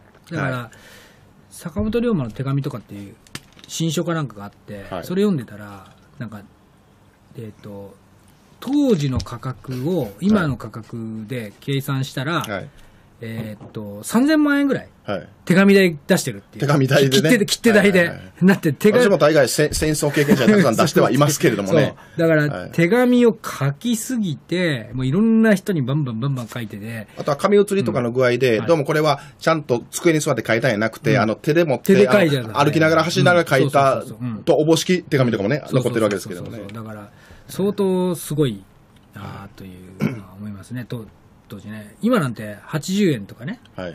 で、手紙出せるのに、はい。我々全然出さないですからね。はい。ほんまにそうですよね。そうそうそう、あ80円で出せるのに。白するなら手紙ですよ、皆さん。メールちゃいます？よもう。はいはい。あ告白今や LINE もありますからねね。あの、LINE もありますせめてね、LINE とか、はいあの、携帯メールでやるんだったら、はい歌を読み合うとかね。歌を読み合う。愛見ての後の心に比べればとかってね。経験あるんですか？いや別に。間違えて自分のおかんとかに送ったらなんかどうしたのみたいな感じじゃないそうですけどね。なんか、百田さんが、はい確か、あのー好きな人にラブレター書いて、はい。好三きじゃないとね、書きませんからあね。もちろん、ラブレタターを書いて書いて、それで、なんかその、あの、送ったんだけど、はいそれが、あのー試し書きの方を送ってしまったらしい。はいはいはい。お試し書きの方がいいこともあるでしょうね。いや、それが、はい。結構エロいあのとかを書いて、で、朝、次の日になんか帰ってきたら、家にやったら、本番書いたやつが残ってて、あ。あ、みたいな。試し書きの方を送ってて、はいもう死にたいと思ったっていう。それなんか結構、本当に妄想をいろいろ書いてたあらしい、ね。の歴史上のね、人物って結構エロいあの手紙多いですよ。あの、有名なのナポレオン。うん。うん。あの、きあの、ナポレオンがね、あの、奥さんのジョセフィーヌに書いた手紙。これ、イタリア戦線とかオーストリア戦線に行ってる時も、結構毎日のように書いてたらしいんですけれども、はい、は、は、早く、あの、そっちへ戻って、君の股間に顔をうずめたいとかね。そういうこと書いてるわけですよ、普通に。うんはいはい。確かにね。エロ親父ね。うんもう、さん、あれはややばいなって、なんか、はいその話聞いた時もう笑いここけましたね、あれ。まあ、そういう、あの、さす試練をくぐり抜けてるからこそ、今の百田さんがね。あの、小説のタイトルは、はいその手紙書いた時に出たんじゃないかな。ああ、なるほどね。永遠のゼロ。そっちですね。可能性ゼロでしょ。あの、れなんとかの心臓は？鋼の心、鋼の心臓、め、め、じゃあ鋼の、あの、鋼のメンタルじゃないんですか？そっちの、むしろ。そっちじゃないな。永遠のゼロだと思うな、可能性は。百田さんにはこちらの本の、あの、帯で大変お世話になってまあ、す。そうですね。はい出てますね。はい。えはいえ。はい。で、何やっけ？えーっと、で、第二長州征伐がやってきたわけちゃんですけど。とこの、野木マレスケの人生ができるのか。はい。野木マレスケがまだ生きて巡視するとこまで。巡視するとこまでいけるのか、今日。はい。ちょっと心配ですけど、まあ、巡視しなくてはいハッピーのでもいいんですけどね。あそうですねはいはいはいで、あの、第二長州政党が、はいあの、初陣で、うんで、あの、野木マレスケは、やっぱり、あの、立派なやつだと見込まれてて、その時、まあ、これも皆さんご存知、高杉晋作。高杉晋作の下で、はいあの、一部隊を預けられる、あの、指揮官になったんですね。あ、はいはい。それで小倉城攻略戦っていうのにああの参加して、はいはいはいで小倉城を攻め落とすわけですよ、はいはいはいその時にも遺憾なく、後の乃木大将につながるようなね、うんああのそうですね戦いぶりを見せたと。坂本龍馬がその手紙書いてね、はいどういうふうにその、えー落としたかと、あはい山の絵とか書いて、ね手紙に。坂本龍馬や映画またね残ってんですよね、それ。あの造形が深いんですよね。ああの天の坂鉾のあ絵とかあるでしょ？あはいはいはいあの霧島神宮、ね霧島神宮じゃない、あの高千穂のえーと高千穂山の。はいはいはい。うん。ねえ。あで何が言いたかったかというと、あの第二次長州政党はわこれ以前のちょっとちょっとした講演の時にも喋ったんですけれども、あのちょ第二次長州政党はある意味では、そのいわゆる錦の御旗、あの天皇の命令でこそ我々は戦うんだというのを掲げる長州藩が少ない手勢で天天皇や朝廷をちゃんと守らないという幕府を倒すとはい。いう意味では、これはまさに大南港の港川の戦いのリベンジだったんですよね。なるほどね。だから。長州藩は南光数形をずっとしてましたから、はいだからあの南光がいかに立派な人か、そして自分たちも南光のようになりたいとみんなが思ってたわけで、そういう長州藩に対して、あのつまり長あの必ずしももう正当性がないかもしれないと、彼らが思ってるその幕府軍の大軍が攻めてきた、まさに港川の戦いだったわけですよ。で、長州藩はその港川の戦い、自分たちにとっての港川に勝ったわけですね、第二次長州政党そっかそっかそっかまあ向こう側の大将が死んだいうのもありますけどね。うん、あの家持家持将軍がねだからそうそういう意味ではもう第二次長州政党っていうのはももちろん歴史を変えた戦いなんですが、はいもう一つはその精神史的にも大変意義のある、うんあの局面だったというふうに私は捉えてるわけです。なるほど。そこでつながる。と私はなるほどね。はい、はい。だってその南高祭、今あの港があの法則そうですね、だから核攻撃化ですよ。そうですね。で、核攻撃化するために、まず、旅順の艦隊をどうにかしないといけない。はいところが、旅順艦隊というのは、その旅順の、ちょっとこれ小さいから分かりにくいかもしれないけど、旅順構内がここなんですけどね、あの、いわゆる湾みたいになってるわけですよ。ねパールハーバーみたいなね。で、湾内に旅順艦隊がいて、なおかつ、その陸上には砲台がたくさん並んでる。はいはいはい。とすると、そこに日本海軍が攻めていこうもんなら、湾内からは敵艦が撃ってくるし、前の陸地からは陸上砲台が撃ってくるかも、とてもかなわないわけですよ。かといって、じゃあ、連合艦隊が別のとこ行ってたら、パッと湾外に出てきて、日本の弱い商船とかをバーって撃って、バーってヒットエンドラーみたいな感じでねあの、やってくる。で、これはまずいとうん。いうことで、じゃあ、陸上砲台をまず無力化しながら、湾内の敵艦をやっつけられないのかということで、裏から回って陸の高台を取ってしまおうと。そうです。皆さん湾を見下ろしていくも名前は知ってるはい203高地というのはそうですねそういう意味で重要だったね。そうそうそう。これはもう、すごいね。はいここを死んでも取るぞという、この203高地が今後のはい、その、海戦のね、あの、きっかけになるとでいうことで、そうそうでもして、早く、あの旅順を陥落させないと、攻略しないと、バルチック艦隊が本国を出撃して、日本艦隊あ日本近海に迫ってきて、旅順艦隊、さらには北のウラジオストク艦隊と合流して、はい。とんでもない兵力になる。とんでもない。はいはい。だからだから、核攻撃化しか勝ち目はないと。そうです。ここでとりあえず、取るしかないということで、203高地を取ろうと。で、最初、あの、203高地といいますか、旅順要塞にね、あの、リャオトン半島の付け根から回ってきた乃木の第三軍がですね、あの、攻撃を仕掛けるわけですが、はい。第1回の攻撃は、まあ、敵兵力とか敵の防御陣地がどうだったかというのも、よく分かんないままに攻撃を仕掛けたので、もうとにかく大損害を負って、はいはいはいあの、ね、引き下がったわけですね。はい。で、えっ、と、で、そうこうしてる間に、あの、航海海戦というのが海ではありまして、はい。東郷元帥、東郷連合艦隊司令長官率いるれ日本の連合艦隊が、あの、ロシア側の、その、はい旅順艦隊と戦うわけですけれども、うん。これも、あの、まあ、これも貴重な教訓になったわけですけれども、ロシア軍も、あの、旅順港内に逃げれば勝ちと思ってますから、ちょっとバンバンって撃った後、すっとまた逃げていったわけですね。ですね。で、逃げ出した艦隊を追いかけても絶対追いつけないわけですよ、これは。だから、あの、あこれはもう、こっちが損害を負ってでも逃げ道を塞いで潰さなあかんなっていうのが一つの日本海海戦への。教訓になった。はい。で、一方で乃木大将もですね、まあ、これが坂の上の雲がちょっといろいろいらんこと書いてるとこなんですけれども、乃木大将は、今第2回以降の総攻撃、あるいは総攻撃に付随して行われるその2泊3攻とかそういう各陣地への攻撃に関しては、もう徹底的に火力の力で、うんあの敵を殲滅していかなけないはいということで、大変火力を重視したわけですね。なんかこう、別に、あの、めくらデポ、めくらではダメ言っちゃダメなのか、あの、その、適当に闇雲に、はい。お襲いかかったわけじゃなくて、あのそういう敵の陣地の拠点を潰すとはい。いうことで、正確に測量して、正確にあの敵の、まあ、所在とか、はい。あのじ構築された陣地を把握して、えーそれを、まあ、火力によって潰すということを着実にやっていくわけですよ。はいはいはい。そうですね。はい。ここではい。どう、どういうふうに、こう、進んでいくというか、はい。その、どれぐらいの期間というか、どんな感じで、まあ、だからあの、結果的には半年くらいかかってしまうわけですけれども、半年でしょ？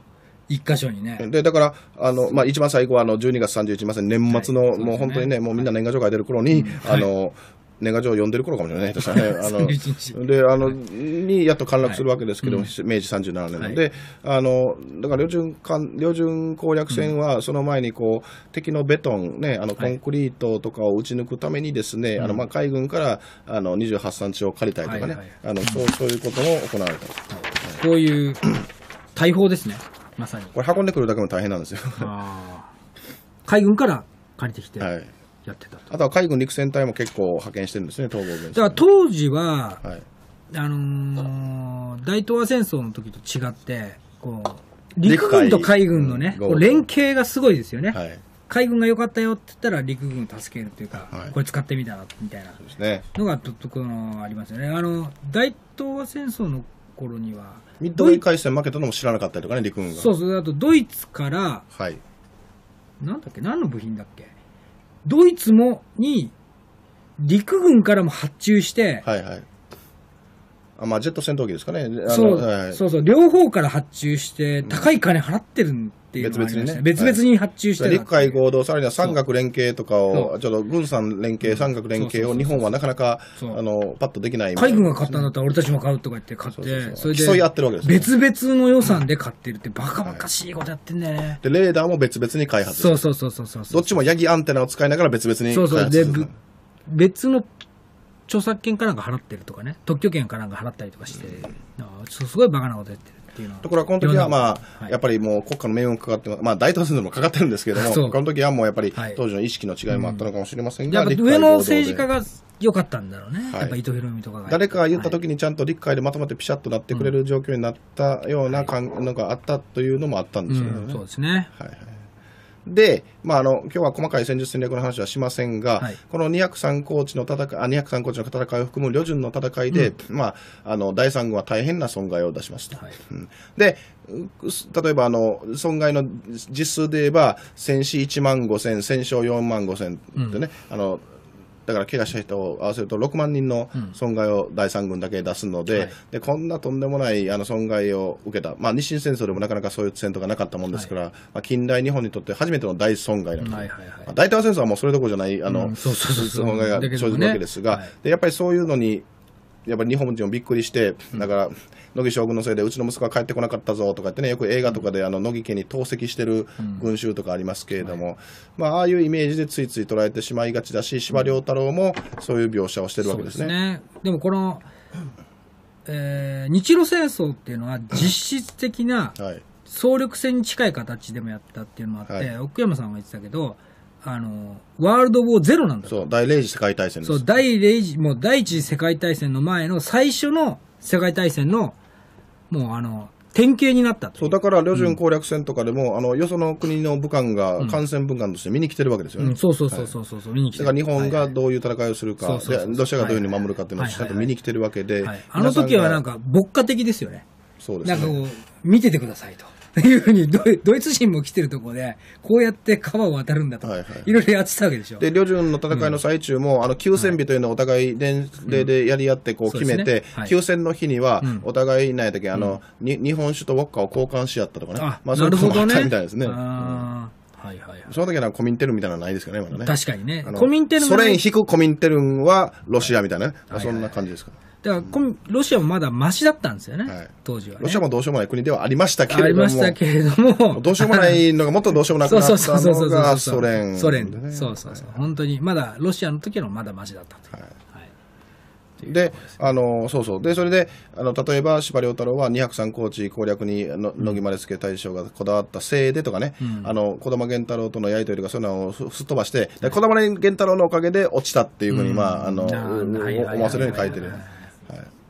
でまた別の小説でね、なんかこう、あの乃木大将が国元へ帰ると、なんか小さい子供がしじみ売りかなんかしてるから、なんで君はそんな働いてるんだっつったら、あの乃木大将がバカでおお父さんが死んだからこんなことしてるんだとか、ねそういう描写が出てくるわけですよね。はいで、まあ、そういうふうに、あの、祖師でおける乃木大将ですが、これはもう、あの、ちょっと歴史とか、まあ、軍事史に詳しい人からすれば、もう、ちゃんちゃらおかしい議論で、例えば、乃木大将の、その、旅順攻略戦より前の要塞戦、つまり要塞戦っていうのはもう犠牲がつきものなんですけれども、あの、1853年から54年にかけてのあのクリミア戦争ってありましたね、でクリミア戦争っていうのはね、あの名前のクリーミーな感じにあの反して、大変こう激しい 戦争でですね、でクリーミーなそのクリミア戦争の あうんの天王山とのセバストポリの戦いというのがあったんですよ。うんはいは。いイギリス、フランス連合軍が、あのロシア軍の立てこもるセバストポリ要塞を、あの攻めかかったわけですけれども、その時はもう、あのまあ、それも、えー半年ぐらいの戦闘だったんですけれども、まあ、イギリス、フランス連合軍の戦死者がもう12万人、はいはい。それだけの損害が出たわけですね。だから、その頃ってまだ、旅順戦の50年前ですから、はい。ロシア側の機関銃とか大砲とかもそんなに発達してないわけですが、それでも12万人の死者が出たわけですよ。はい。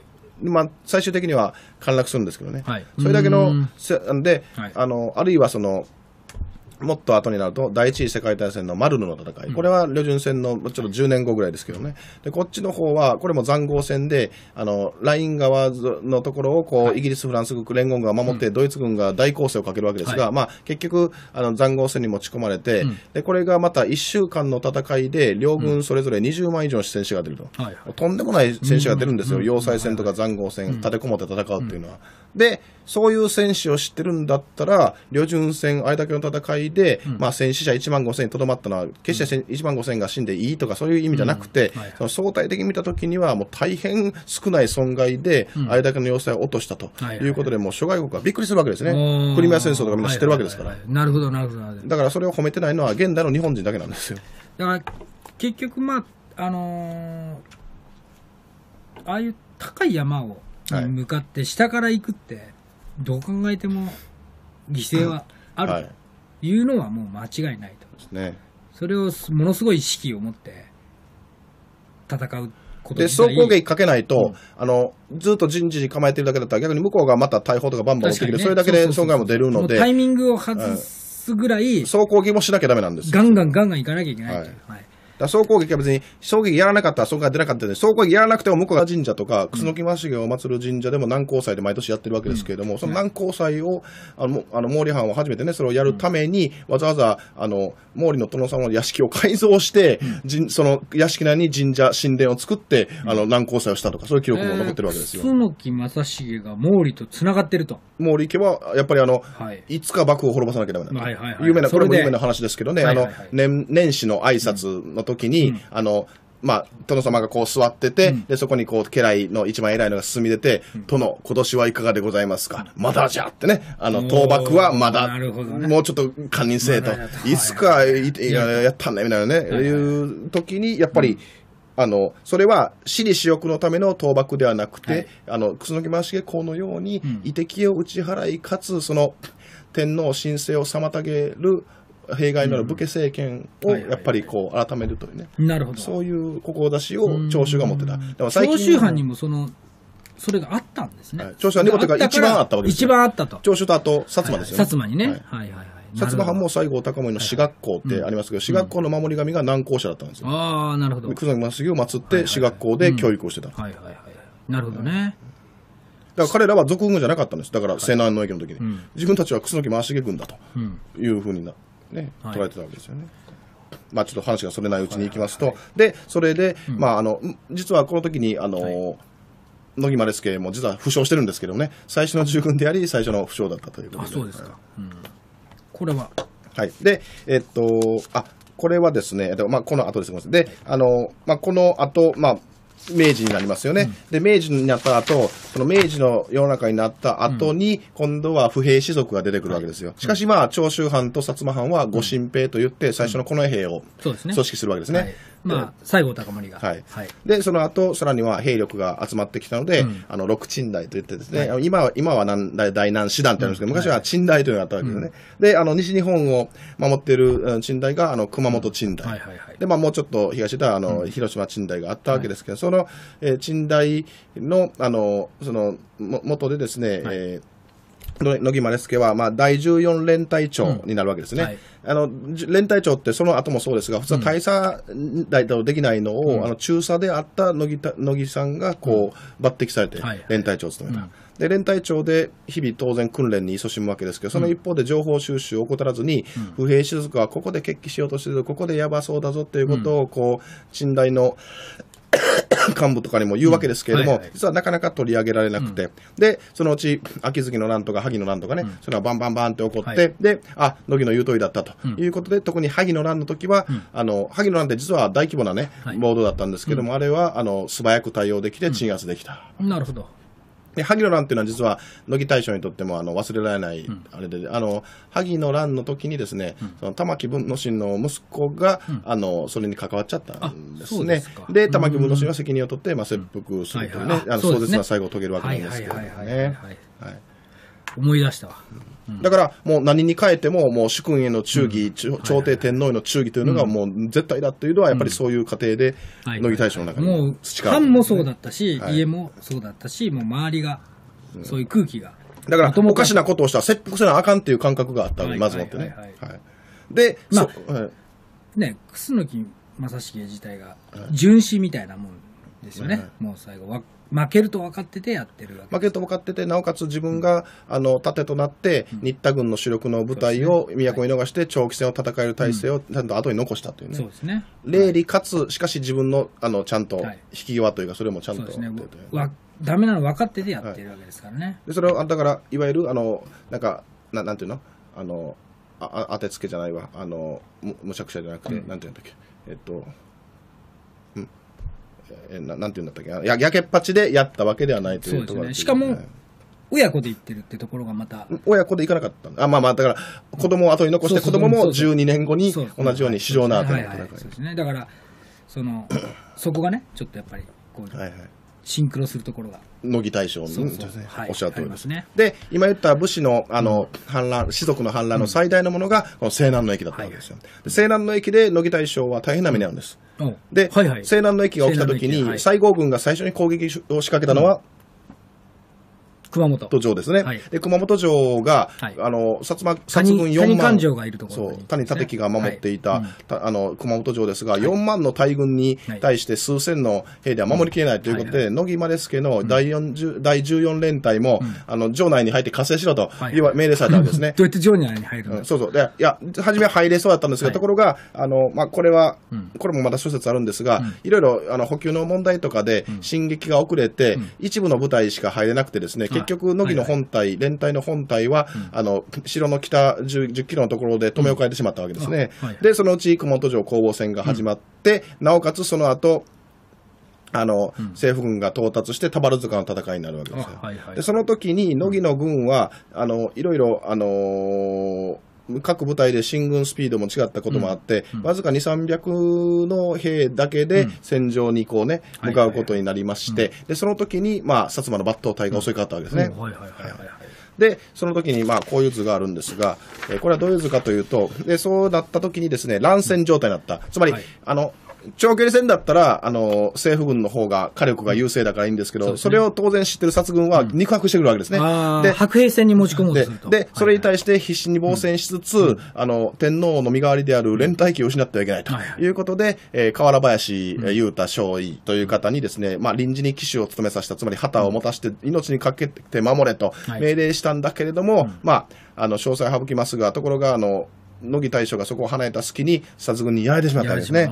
で、えーその後、あの、戻ってきた乃木将軍が、あ、彼がいない、連隊機がないと、天皇陛下の身代わりが奪われたと。はいはい。いうことになって、なんとか取り戻したいと言って、その部下が止めるのも聞かずに、わしが取り戻してくるって短期駆け出す、はいはいはいうシーン。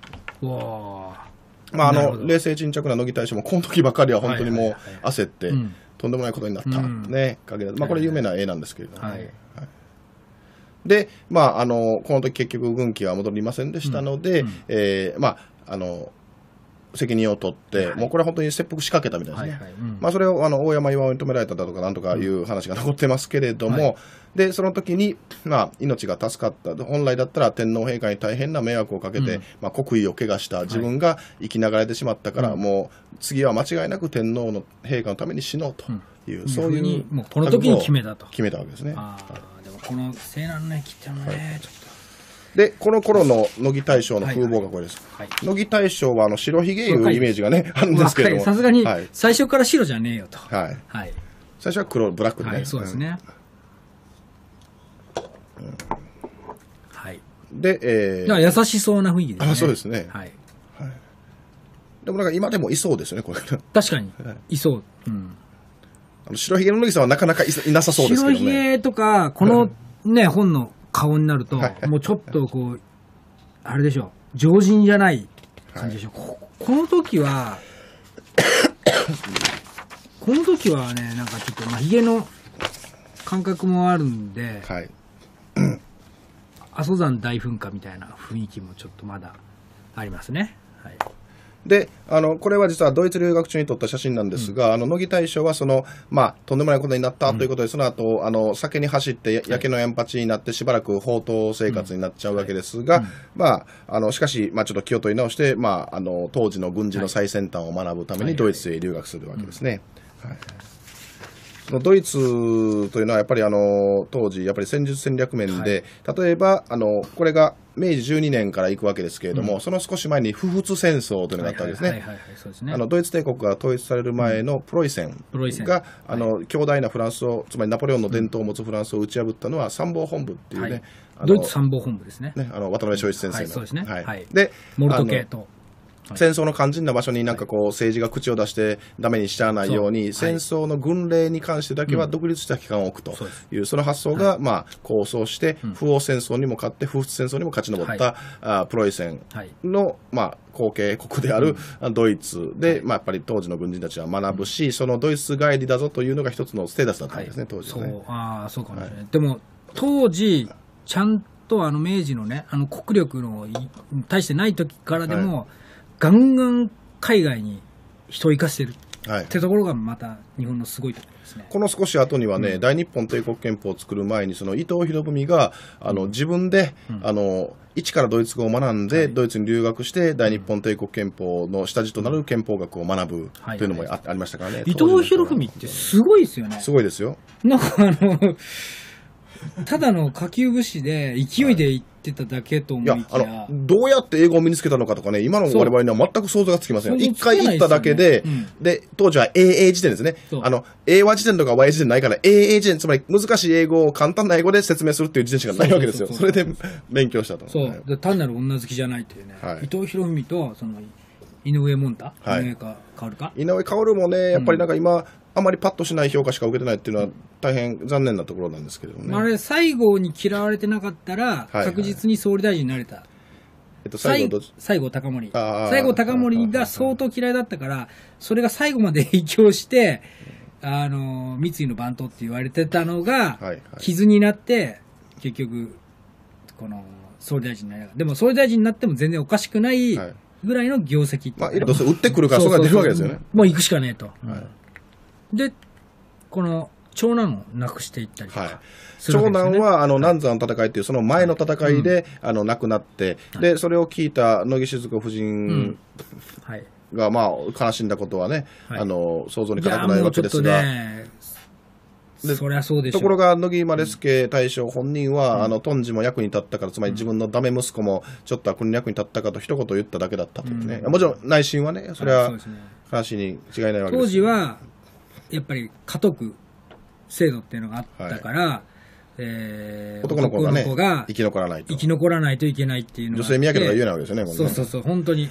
男の子が生き残らないと、墓を守る人もいないとはい。いうし、家の財産をつ継いでいくのが、まあ、基本的なね、はいあの考え方だったんで、そこの、えー厳しいところに、もう、士気を高めるために長男を置いたっていうのは、はいそれは本当なの。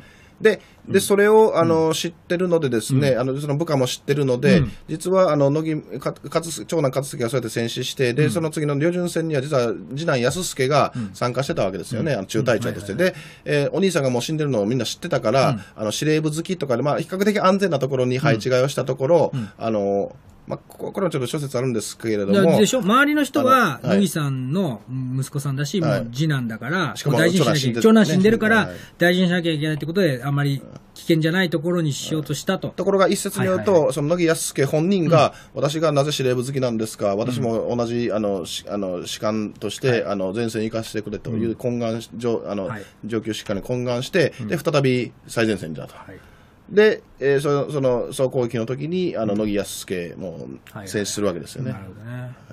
もうこの時点でだいぶ、ちょっと、まあ、毎度毎度ね、はいちょっと、この話を聞くとね胸が痛みますね、で、あのつまり、あの、野木マレスケも別に1万5000戦死したっていうのは決して少なくない損害だから、それだけの損害を出したときに、まあ、まあ、一方では、その自分の息子も、自分の息子は大事なんていうことはとてもできなかったというのははい。もちろんあるでしょうね。はいはいはい。で、それ、しかし、まあ、それ以前の問題として、その無人の息子がどう振る舞うべきか、あるいは自分が無人の親子で、その親として子供にどう、あの、どういう行動を取らせるべきかというと、まあ、いろんな葛藤の中での、まあ、結果だったとしかこれは言いようがないわけですけどね、今の我々がなんかかわいそうじゃないかとかね、そういう話を差し挟む問題ではないというのは、うん。はい。確かなんですけれども。はい。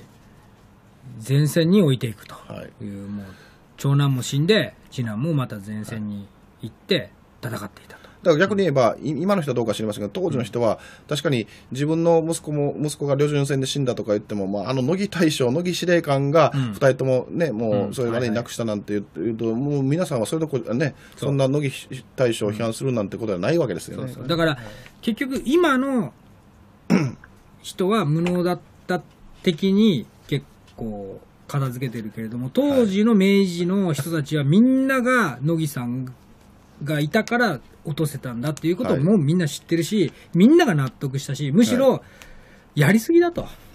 息子さんまで出して。はい。っ。ていうところまでみんな同情してたと。あの、旅順戦もそうなんですが、戦死者名簿というのが必ず広島の、あ、広島じゃない、失礼当時はもう届けど、うん。あの、大本営、つまりうん。天皇陛下のもとに送られるわけですが、うん。天皇陛下ははい。その戦死者名簿を全部ご、自らご覧になった。ああなるほど。うん。でおそらくは、まあ、これは想像ですけど、まあうん、やっぱり乃木安助、勝助の名前があれば、明治大帝も気づかれたでしょうね。はいはいはい。そうですね。うん。という、まあ、明治天皇もそうういう、あの乃木丸助の苦中を知って、でかつあの軍旗が奪われたということで自殺しかけあの、ね、切腹しかけたなんて話もご存知でしょうから、そうですね。はいではいはい。そんな乃木を変えてはいけないと、つまり、あのーやっぱり、ね、大本営ではちょっと乃木丸助を変えろという意見もございますが、陛下みたいな人もいたわけですけれど、乃木を変えてはならんと、これは本来、ちょっとね、ここう本当にそう言ったかどうかわかりません、だからそう,、そういうことをにわせる発言だけかもしれませんけれども、誰天皇陛下は自分の意見言い言わないことになってますからね。はい。だから、はい。それはちょっと、あの、まあ、つわものなんですが、ととりあえずその、明治天皇はもう乃木に任せて、あの、旅順攻略戦というのも、やっぱり、ね、それなりの確信を持ってたようではあるようですね。はいはいはいでもその203コーチがもう落とせたと。はい、はい。で落とせたから、だからもうこう、まあ、ここで言うとね、はいこのこれ山の上なのね。はい。これ山の上だから、その湾にはい。もうロシアの船がいっぱいあると。はい。もうそれはそこからだから大砲だから撃ち放題。はい。ドーンボトンで、ちゃんと測量の結果、どう打てば湾内のところに落ちるかって、はいまあ座標を取ってねうんもう。どんどん。上からだからね、もう、おっと、ちょっともうちょっと右で右から撃ってみよう。ドーンまあ安全に打てるわけです。向こうから打てない。向こうから撃てないわけだから、ちょっとそ、そこだけはね、加わりたいなと思います、なね。そこだけ美味しいそのところです。203コーチ落とすとこはちょっと怖いけれども、その、あアフターだけね。アフターだけ上から、上から、よし、まあ懇親会だけ来るやつみたいなあの、こ公園とかで来ずにね。そうそうそう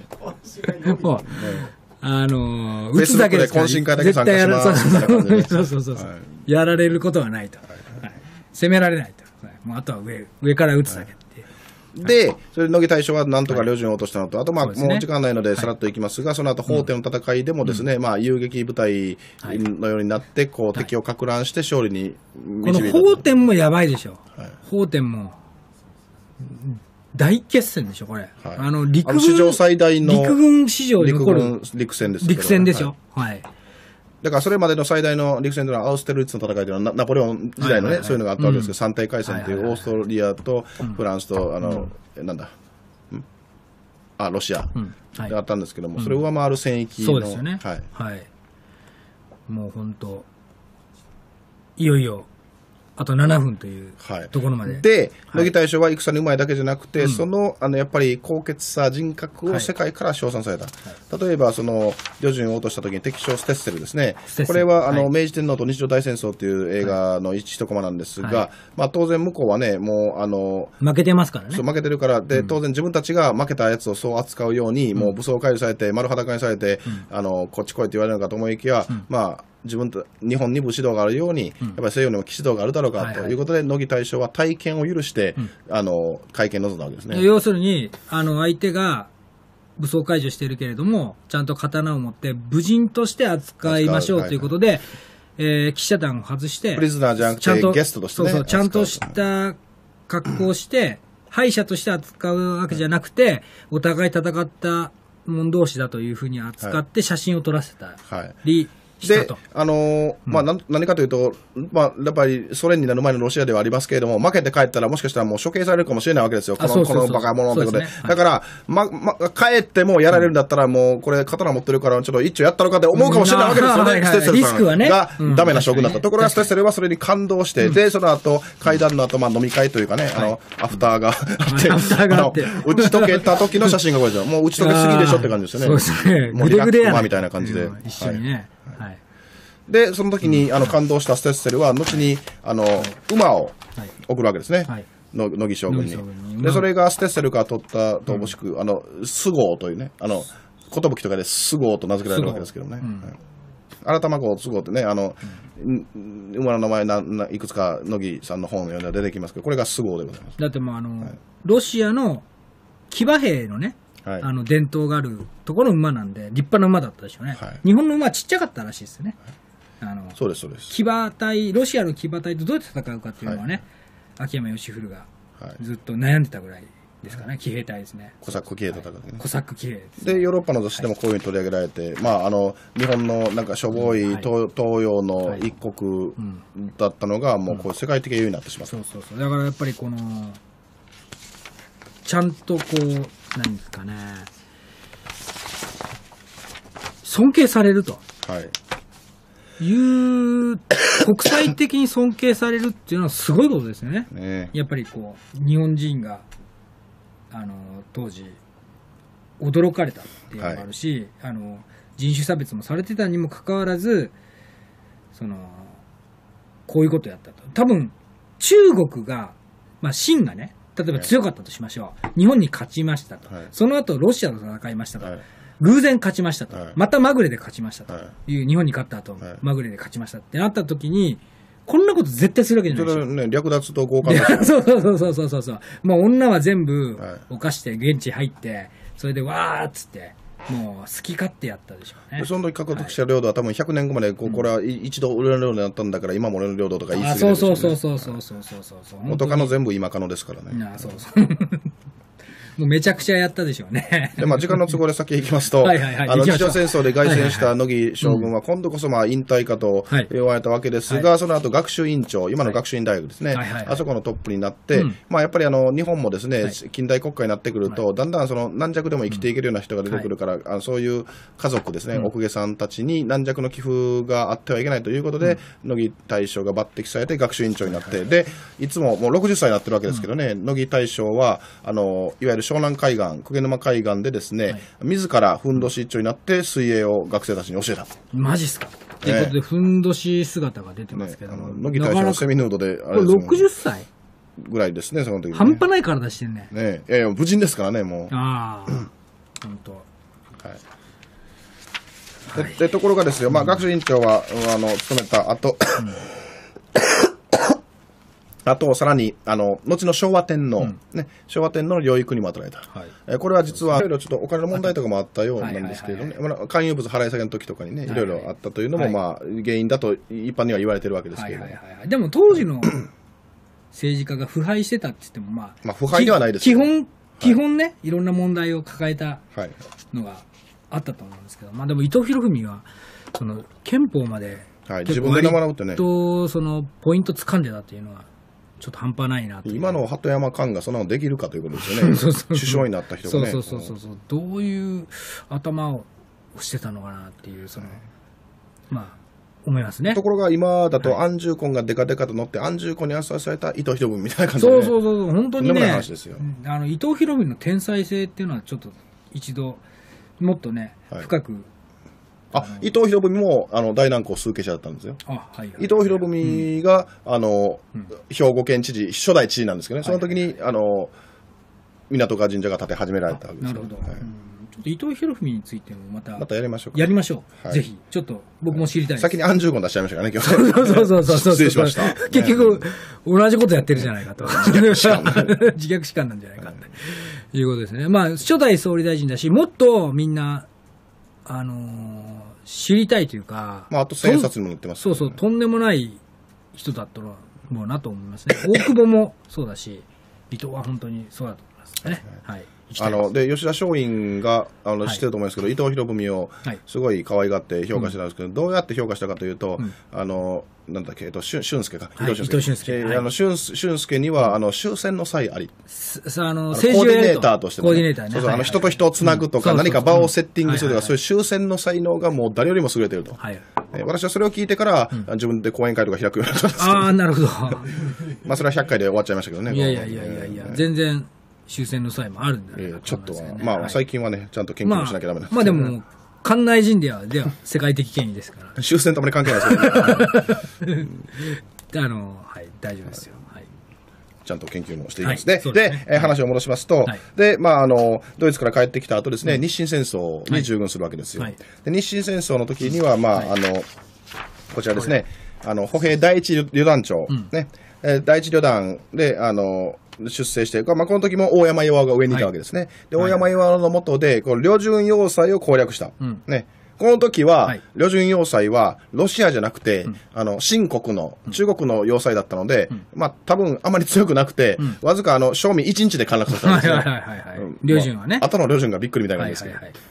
その時は。だからこの、この後だからね、あの、お前は日清戦争のあの時に1日で陥落させないかとかいろいろまあ多分言われたんだろうけれども、この時はあっさり陥落するわけですよ。はいはいはい。はい。まあ、あの、日清戦争の後ですね、日清戦争によって、あの、獲得した台湾。台湾で台湾は、まあ、あの、その前に西台の駅というのがあったんですが、その後もちょっとしばらく、あの、時間経ってましたので、もう一回ね、台湾を平定しなきゃダメだということで、はいその台湾西東、あの北か北白川宮殿下はいに従って、台湾西東軍にも加わって、その功績もあって、北白川宮は、武田先生のね、はい。あの、祖先というか、だから、畑先生の高祖父に当たられ高るんですね。はいはい。おじいさんのおじいさんはい、そうですね。はいはい。で、えーその時に、まあ、あの、勝って知ったるということで、えー第三代台湾総督に任じられる。はい任じられるんだけれども、ちょっとね、どうも、まあ、あのーここもあまりね、あの戦後の基本では評評価されてないんですが、ただ、あの風紀粛正という意味でね、やっぱり植民地経営というのは、どうしてもなんかこう、利権絡みになってしまいますから、うん。役人たちもいろいろあるわけですよ、はい。で。そういう不正を許さないという意味で、あの後期粛正に関しては、あの野木マレスケは辣腕を振るったわけですね、うん。自分が儲けようなんて一切しないわけですから。ところが、それが、まあ、あだとなって、その台湾のその総督の官僚には、まあ、どうも嫌われたみたいで。はいはいないろいろ変なね、あの、ああの、まあ、ムカつく上司をこう悪く言うみたいな感じになって、ちょっとまあ、病気と称して結構早々と日本には帰ってくるんですね。うん。はい。で、その後、あの、まあ、1回目の隠居といいますか、はい。那須塩原、あ。ね、栃木県に、はい。の別荘に引っ込んで、うん。あの、まあ、悠々自適の農業を、やってた。はい、やってたわけですね。ら昔の人はそういうところがありますね。最はい。西郷隆盛は農業やるときって、引っ込んだりとかして。でも結局、私学校やっちゃったというそうそうそう。はい。ねさて。で、次はえーで、それで、うんしかし、えー野木丸助の悠々自適を、まあ、時代は許さなかったんですねはいはいはいはい。日露戦争日露戦争が来たと。はい。そこ、あ、ここがそその前、そうだ、悠々自適の写真を一応はい。こんな感じで、はいもう白髪になってるじゃない。あ、あの、いつの間にかね。もう白髪にあなっての信長の野望は顔は変わりませんけれども、あの昔、あの政宗の野望、だ伊達政宗っていうファミコンのゲームがあって、あれは年齢が上に行くに従って、あのなんかおっさんになっていくんですよ。初め伊達少年。政宗、うん。あだそんなのあと武田信玄か武田信玄というゲームか。で武田信玄というゲームはせつあの成長してくると、はい。なんかおっさんになったりあるいは丸坊主になったりとかしていくっていう顔が変わるってのがありましたけどね、もうこれ、はい、サムみたいな、外人みたいな顔してるよね。ちょっとまああの し白ひげのダンディーな、うんそうそうそうそうそうそう。うん、本当に。まあ、確かにねあのななんて言うんでしょうあの当時の床屋行った人が乃木将軍みたいにしてくださいとか言ってたかもしれませんよあねなるほどね。ははいいはいはい。本当に。完全に外人ですよ、これ。さ寝る寝るシャツ着てるもんだ。ふさふさ白ひげで有名といえば、まあ、乃木将軍かあとは、まあ、高橋是清とかですかね、はいうん、で、えー日露戦争に、あのまあ最最初はですねあのあ、そうだそうだあのその前、第11師団ということで、師団長として香川県の善通寺というところに行ってたんですが、はい。その後、まあちょっと不正事件が起こったから、もう一回栃木に戻って、しかし、いやあの日露戦争が始まったから、あのもう一回さらにはい。前線へ戻ってきたと。い。うことで、この時に第三軍司令官になるわけですね。はい。で、日露戦争というのは、さっきも出てきましたけれども、これはね、もう日本がどうやって勝てたのかという話ですよ。そうですね。あの他の国もですね、まあ、ロシア憎しって言ってるイギリスとかアメリカとかはですね、まあ、あの日本が勝ってくれたらいいとか、それは思ってるかもしれませんけど、まあまあ、でも勝てないだろうと、だからせめて日本がね、持ちこたえてる間に自分たちが外交とかそういうのを有利に進めとかね、そういう捨て石にされたかもしれないところを、なんと日本は勝ってしまった。で、はい。三大陸軍国でしょ。まあまあ、三大陸軍国であり、かつまあ世界最強のと最強と当時はね、当時兵力でも言えてもそうですね。まあ、ナポレオンを裸で追い返したとはい。いう、ロシアに対峙すると。はい、いう、しかも陸でね、はい、海軍も五大海軍国でしたっけ、はい。当時、ロシアは。それもすごいんだけども、だからあのロシアはあの当時の主力艦を最新鋭戦艦を国産できましたからね、そうですね。日本と違って。日本は国産できてない輸入品で、ミカさんもイギリス全部イギリスからのね、輸入品でイギリスがフランスに対抗したと。はいただ、イギリスと日英同盟結んでたから、そういう意味ではイギリスが優先的にね、いいのをね。作ってくれたのはありがたいことですね遠くから来てる分に、はいバルチックに関しては嫌がらせをしてくれたと。ただイギリスがピンであの、同盟結んでくれた国は日本が初めてですからね。そうそうそうしかも、有色人種である我々イギリスは。ヨーロッパの国でさえもね、なんか特別ナポレオンが出てきたり、人が出てきたりしない限りは連合を組んだりしなかったの、有色人種、そうですよね。日本と、はい。だからどれだけ明治の外交がすごかったかと。ですね。はい。それを思うと今の外務省のね、まあ、だから当時は陸奥宗光とかね、小村寿太郎とか、タフネゴシエーターがいたわけですけど、切れ者ですから、カミソリがいましたからカミね。ソリ陸奥って言はいわれた。はい。そうですね。多分カミソリでひげは剃ってなかったからああなったんでしょうけどね。はい。伸ばし、伸ばししはいはい、伸ばしてますから陸奥宗光なんか横向いてる人っていうイメージが皆さんあるみたいで。あー、正面の写真のイメージがないですよねうん。はい小村寿太郎はなんかこう、正面向いてちょっとひげが歪んでる人みたいなイメージがあるかもしれません。まあ、小村もカミソリっていうノリはありましたね。あの、ポーツマス条約っていう。はい。で、はいあのーあれですよ。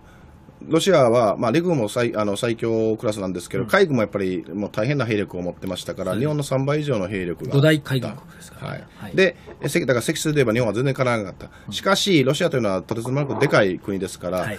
あの日本の近くのあの旅順艦隊、旅順というのはこちらの地図の旅順ですね。もともとリャオトン半島が、あの日本が日清戦争で獲得したはず、この2つ来てるのの上の方ですね。ここですね。はい。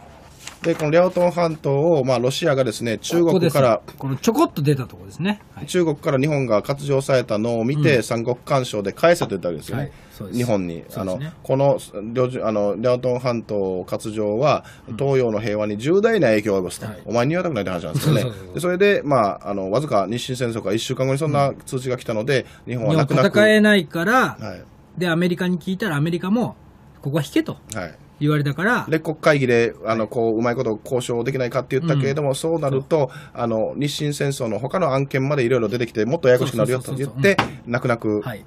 返した、ですね。で返したら今度はロシアがね、ジャイアンみたいにこのリャオトン半島誰のおかげで帰ってきたのみたいなね言ってるからですよ、うん。でそれでまあ99年間ただでか、借りるみたいなねそんな条約を結ばされた。だから今思えば、あのー、よく密約してたってことでしょ？まあそうでしょうね。し清と、はい。あの、密約をしてて、はい。それでロシアが、俺が追い返してやるから俺に使わせてくれと。で中国にとっても日本という自分が格下に見てたにやつに奪われるよりはロシアに奪われた方がまだいいかなみたういな、ん、そうですね。バカですね。はっきり言ってバカですね。